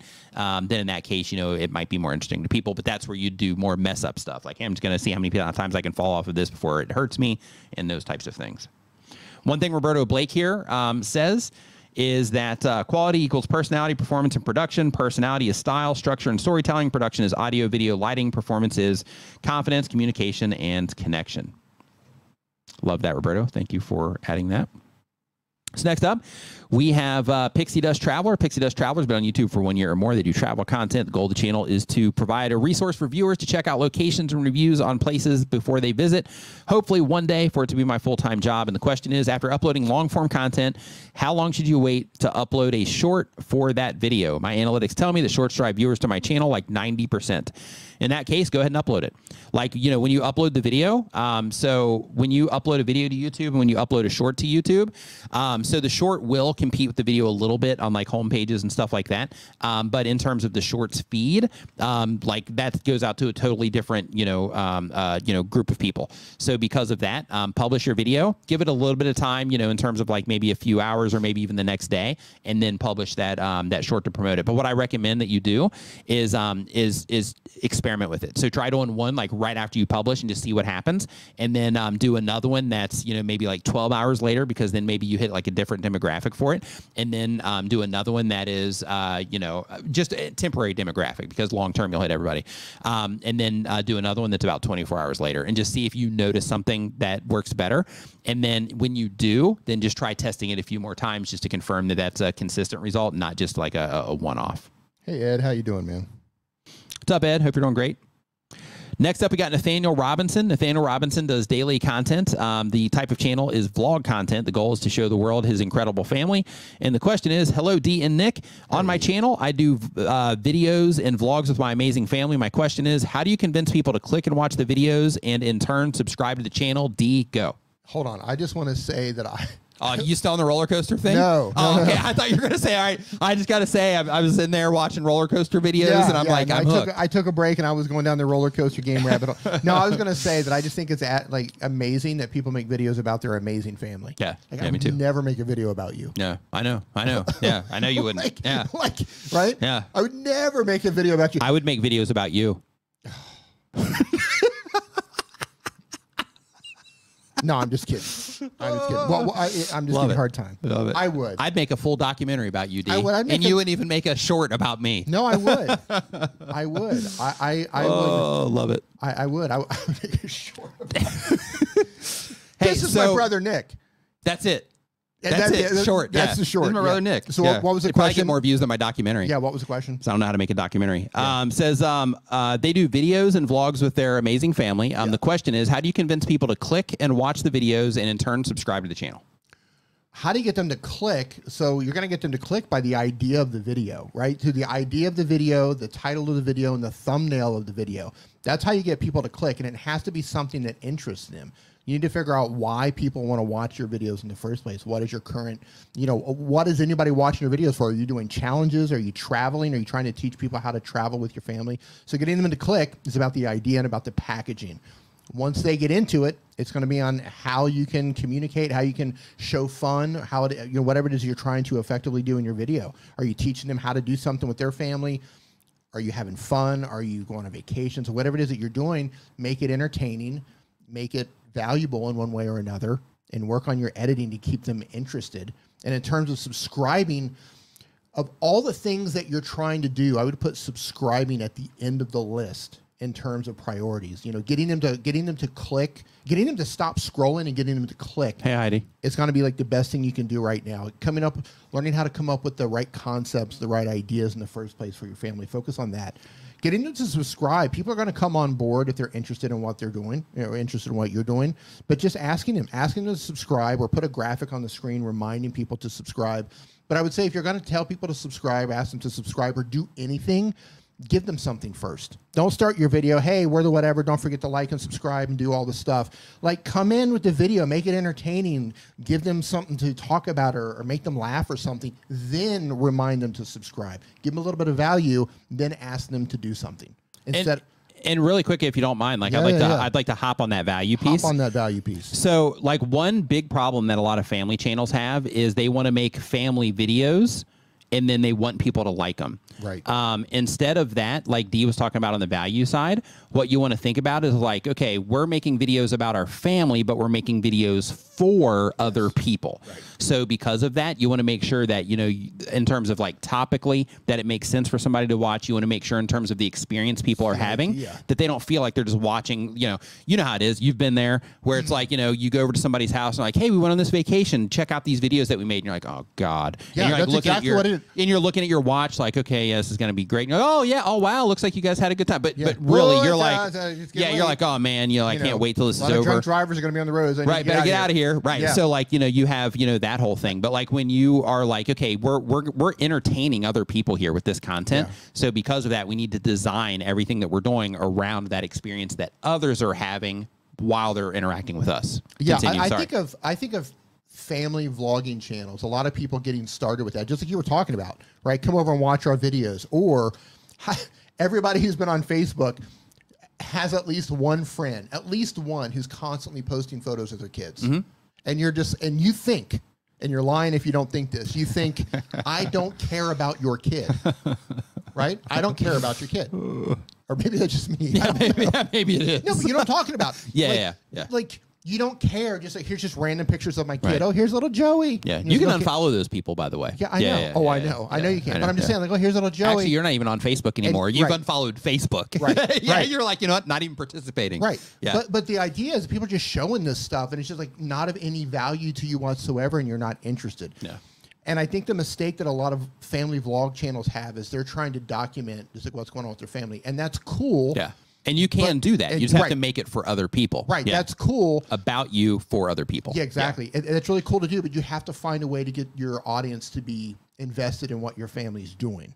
Otherwise, it turns into that exact situation where people are like, I don't care what your family's doing. Right. That's not interesting to me. Or they just won't click on it. Or they just won't click on it. Yeah. Right. They'll click on it once, and then they'll be like, oh, okay, won't click on that anymore. Yeah. So you really, you know, I, I would watch successful family channels and see what they're doing. Look at the topics. Look at how they're packaging everything up with the thumbnails and the titles. Look at their look at their editing. Look at how they shoot the videos. Look at the pacing of the videos because they've obviously figured out what works. It doesn't necessarily mean it's going to work for you, but they figured out at least how it works for their family. So I would look at the ones that are most successful and try to uh, try to reverse engineer why they're doing well. Yeah, and also like try to define it for yourself too. Like, you know, when you're putting something together, think to yourself like, okay, like why would somebody want to watch through this? Like, yeah, it's my family and they're amazing, but why why would why would a total stranger Right. be interested in what it is that we're doing? Like what is like what are we Right. featuring that is, you know, you know, interesting enough that, you know, that people will want to, you know, um, come in and participate.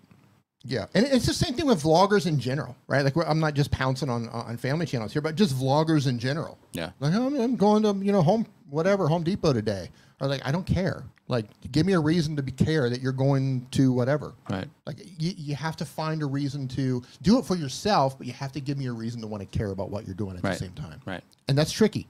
That's really tricky, and that's why so many people struggle uh, to succeed with those channels. Tommy T's Extreme Roller Coaster, thank you for the super chat. Says, um, so you guys said, uh, would a 15 second intro be the uh, best for a coaster video? Um, I would just try to get people into the actual content for the long form video, but yeah, for don't, the ever, don't ever think that. Yeah for the uh, uh, for the shorts though, yeah, same exact thing there. Like I would just try to get them into the actual content. Like I would, I wouldn't worry too much about intros um, outside of you know just letting people know what they're getting ready to experience. If there is some type of build up that you can do, um, if it's like hey I don't say anything in these videos and basically it just comes on and then they go through that process, um, then in that particular case there's not a ton of uh, you know, uh, additional, you know, stuff that you can add to that if you're not going to do voice on it. Um, but you know, I would just get them into the actual, you know, into the actual content itself. Another thing I would experiment with too, um, if you are taking people on the rides, is um, you know, like okay, like look in your audience retention, and you should see across your videos like parts that people jump to or parts that people skip, things like that, and that might also give you a good lead on, you know, one shorts to make, Yeah. but two, it could also give you a good lead on the things to keep and the things to exclude from the videos. And it could also give you a good lead on if you're building something, then like, hey, if these are the things that people are kind of skipping to and looking for, then let me make sure I'm building more of that into into the builds that I do um, uh, when I'm putting everything together. Yeah, Roberto says, Tommy, watch Mr. Beast's gaming channel for examples of a good intro for you. I mean, they've got that dialed in. Again, I don't know who your audience is, right? Mr. Our Beast pleasure. appeals to a certain demographic, but look at the channels that are succeeding. Yeah. That that that that you know, look at the channels that are succeeding and try to think like a viewer, and then try to figure out, okay, if I'm thinking like a viewer, then you know, this is how they're succeeding on the platform. What are they doing? And as a viewer, how is that attractive to me? And then just try to figure that out. Mm-hmm. So um, next up on our list here, we got Nobu Masuka. I, Like, I, I- I apologize if I'm saying that incorrectly. Like I were you watched what you were doing. What? Like when I got started. You what? I watched what you oh were doing. yeah, yeah, yeah, yeah. Right? Because I'm like, okay, I'm, I'm, I'm going to get into. You were here doing it with me. Well, I know, but started. started. yeah, yeah, yeah. to get into videos, I was like, okay, Yeah. well, who's who's making edit, you know, some sort of education content when it comes to it doesn't matter what it is, just who's doing education content. And I just started looking around. I was looking at how you're doing it. I was looking at how Roberto was doing it. I was looking at how Brian G. Johnson was doing it. I was looking Mm-hmm. at how Derral Eves was doing it, and Tim Schmoyer and Sean Cannell. I was looking at all the people doing these things. I'm like, okay, here's okay, their cadence is like this, their pacing is like this, their editing is like this. Just to give me an idea. Okay, They're incredibly handsome. they're incredibly handsome. Uh, uh, yeah, and I would just think, uh, you know, this is working for them. Hmm. What are they doing? What are they all doing, and it, that's working? And I just started like reverse engineering that Yeah. stuff. Okay, this is they're doing this, they're editing this much, they're cutting this much, they're you know, they're pacing, their speed, and then I just start testing that stuff out. Boom. People who are succeeding are usually succeeding for a reason. Right. They figured it out. Right. Uh, next up, we've got personal. Uh, sorry, uh, we've got uh, Nobu M- Masukiwa. I apologize if I'm saying that incorrectly. Says uh, they do personal finance content. The goal of the channel is to drive traffic to my course offers. And the question is: Is there any benefit to making old videos private that are not related to your new content? My current content is for first-time home buyers. Old content is credit repair. My old credit repair vids still get tons of views and are my highest viewed videos in the last 28 days, even though I haven't made any vids on that topic in a while. My newer home buying vids are on a struggle bus. So yeah, so that can happen. So basically what's happening is like let's say somebody comes and they watch they watch one of those videos that are unrelated to the new content that's bringing in all the traffic, then YouTube shows them some of your new content when you publish it because those people have recently interacted with your channel and enjoyed that content. That's why people keep getting or that's why you keep getting views on it because people enjoy it and YouTube tests your content against them, and then they don't respond to it, which basically sends the signals to YouTube, at least temporarily, that the people that they're showing it to that are most engaged in your channel right now are just not interested in that content.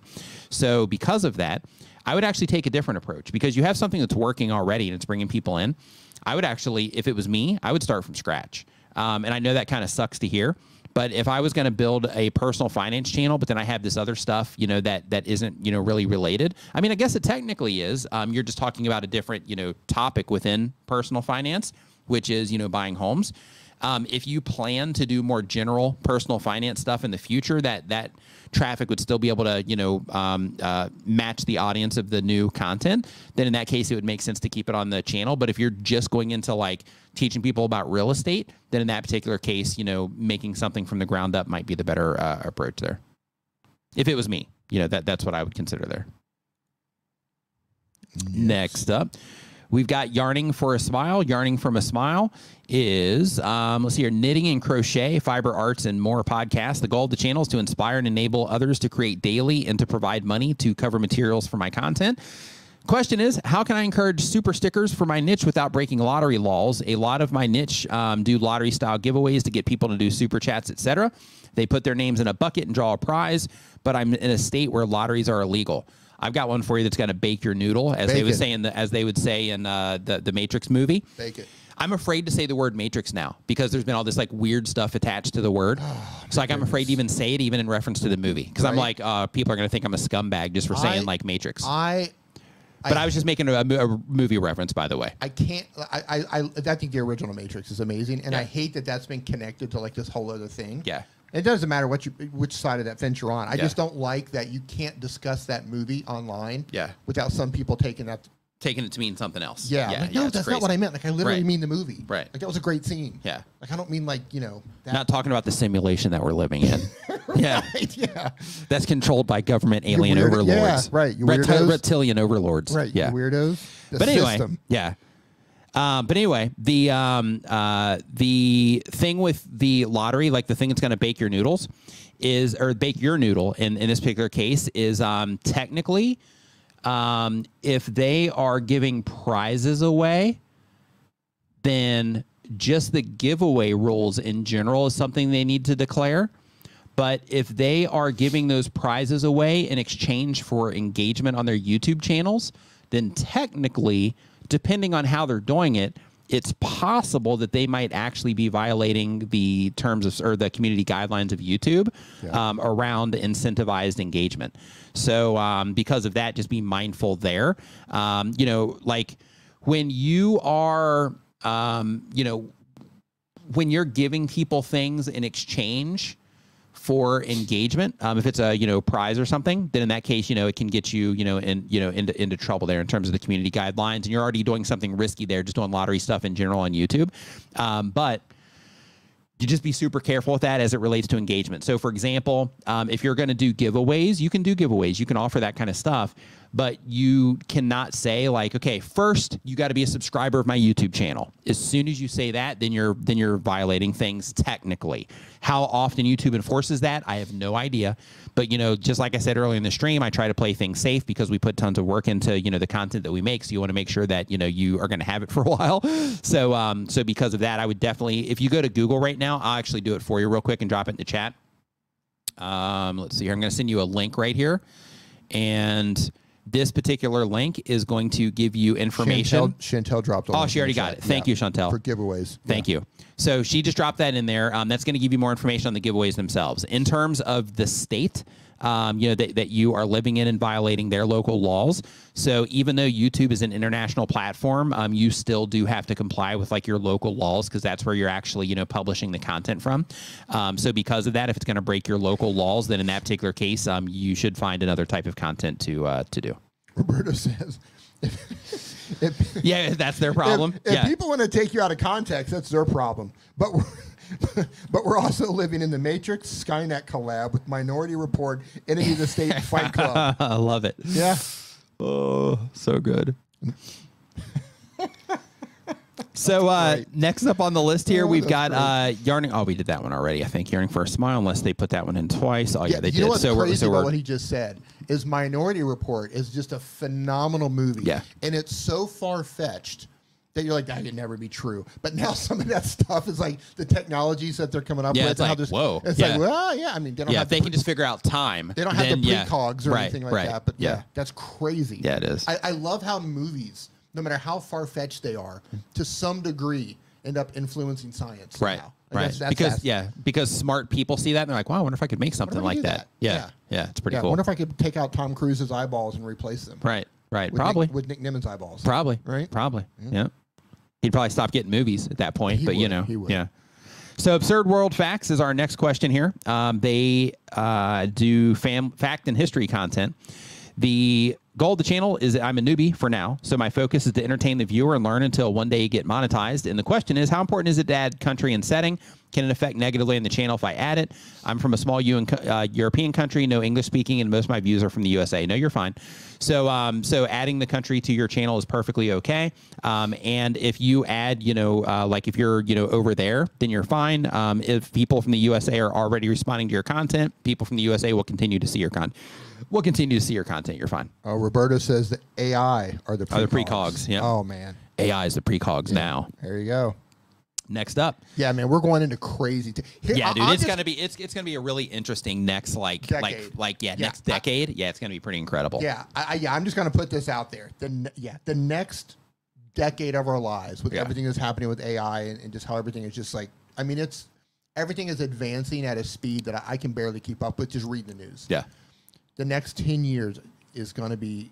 It's either going to be amazing or we are going to mess everything up. Right. Like it's yeah, we're, we're going to break everything or it's going to be incredible. Yeah, I'm, I'm excited to uh yeah, I'm excited to see how it turns out. Yeah. Like uh uh you know, cuz all all we can do is watch the show and participate, right? That's it. Right. So like it, what's going to happen is going to happen. So we just get to, you know, participate and watch. Yeah. But the uh but yeah, I'm, I'm just interesting to see like where all the AI stuff goes with all the tension in the world right now with like all the people against like Everything. You know, yeah, People yeah, it's against just everything. Yeah, so it's yeah, it's, it's just Yeah. a really interesting uh, you know, really interesting uh it, it, it doesn't matter what side of the thing you're on. Right. Somebody's like they're outraged about. it. Right, right. Yeah, it doesn't matter. Yeah.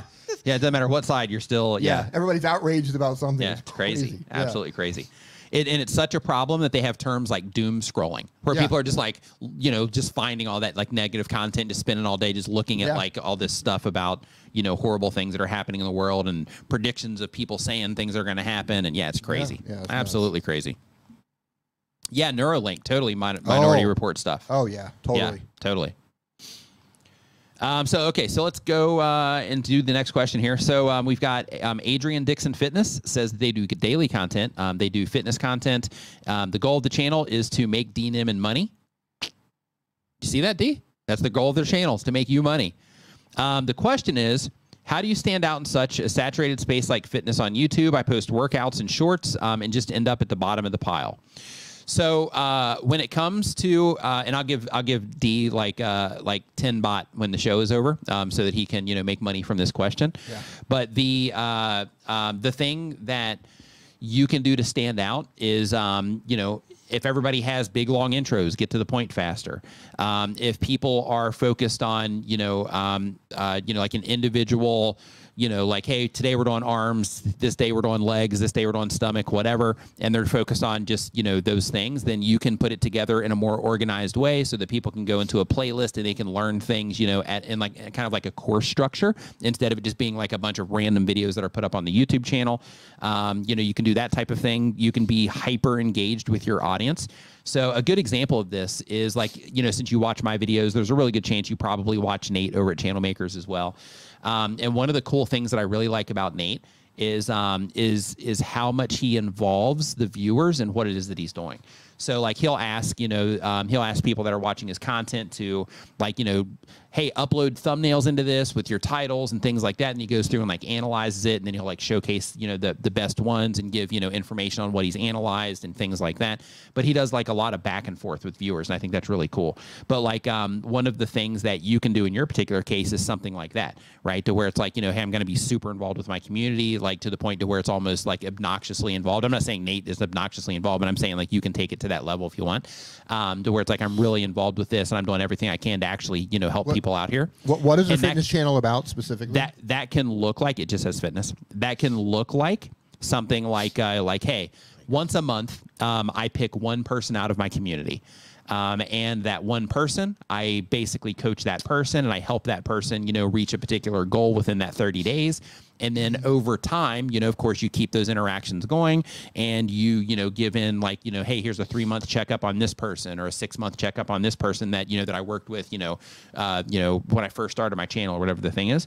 Doing those types of things um, can, you know, can help you stand out because people are like, oh, wow, they're like, you know, getting involved here and they're actually like helping people, you know, you know fix some of these you know some of these problems and get themselves together so you know doing little things like that and just getting creative you know come up with other a bunch of other things like that um, you know can can can help you stand out with what it is that you're doing Yeah, I, I want to add to that. So if you've got a fitness channel, like when somebody says fitness channel, like that just sounds so broad. Mm-hmm.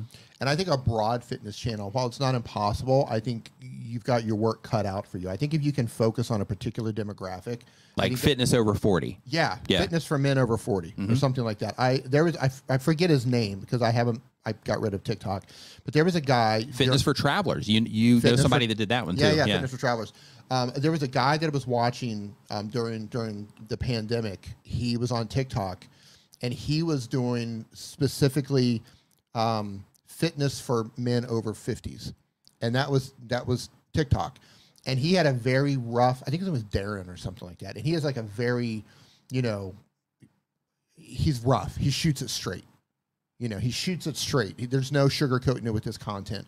And he would focus on men over 50s and he would just talk about things they could do, talk about their diet, talk about if, everything that's important for men over 50s. And then he, once he kind of built up his audience that way, because I was also paying attention, he was growing really fast. And he started doing things like, hey, I'm, I'm, I'm choosing three men to work with. Like, you know, if you, if you want like personal, you know, advice or whatever, hit me up. So he started like building up his stuff that way. The guy exploded on, on TikTok, but it was very, it was laser focused, targeted a certain group. Once he got to a certain size, he started like just picking people out, like you were talking about. I'll work with you privately, and uh, yeah, it was just, uh, it was really good. Yeah, was other really things good. too is like um, targeted. It was just super targeted. Yeah, other things too is um uh, I lost my train of thought. Never mind. Yeah. Um. So yeah. So you know those are the types of things that you can do to uh to to, to stand out. Yeah. So um, next up, uh, we've got uh, so you're not yet decided is the name of the channel. They have been on YouTube for less than six months. Um, the channel they have is chat and various content. The goal of the channel is to engage with more uh, with more of an audience and have fun. The question is, the question is um, how to make a YouTube channel more interesting. If it's just a chat between a few friends on various topics, the conversation's got to be good. Like Yeah. just starting out, the conversation's got to be good. Um, I plan to produce content with many different concepts on my channel. Should I create separate channel and audience for each content, or should I produce them all in one channel?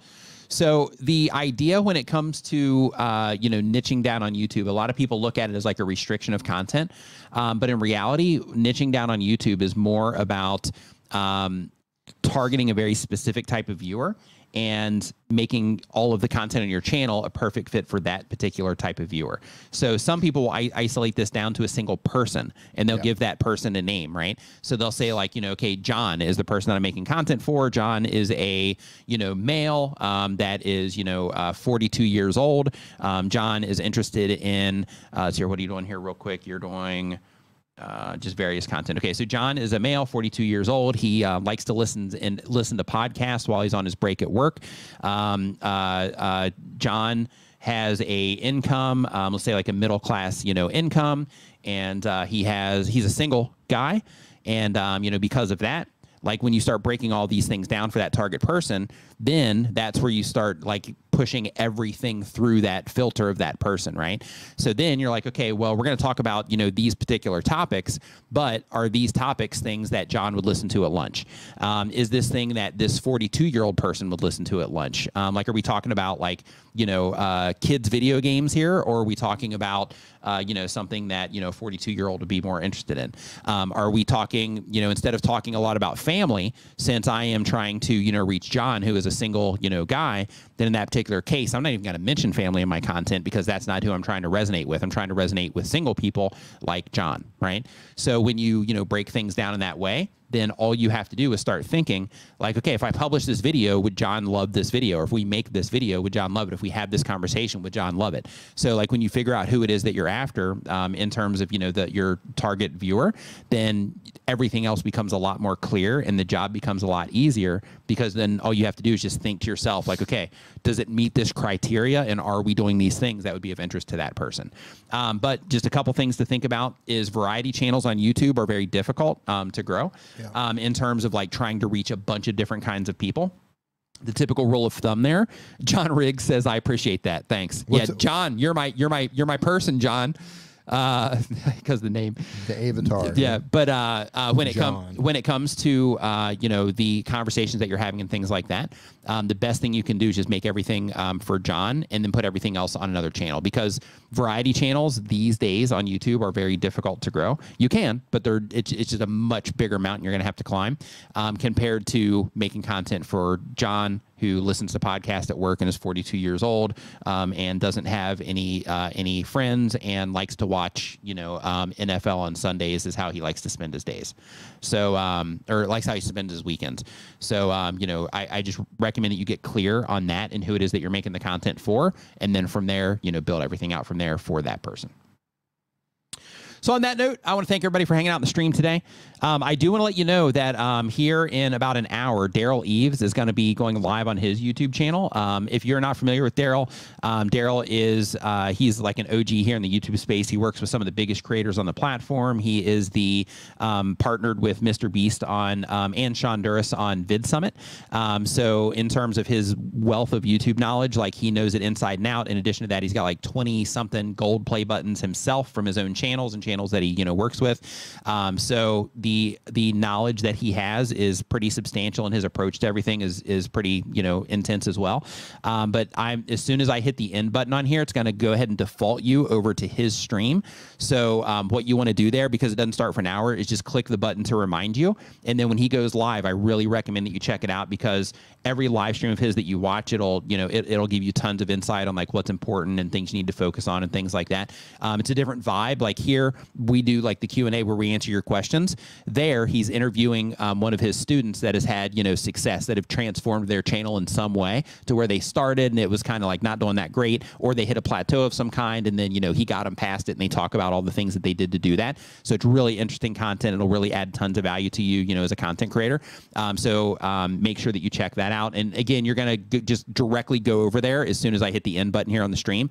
But in addition to that if you're a new content creator i just want to remind you that um, you know, right now you might be looking at YouTube like, man, I got all this stuff I got to learn, and you know, it might take me a while to get you know all this stuff in place and all that. It might.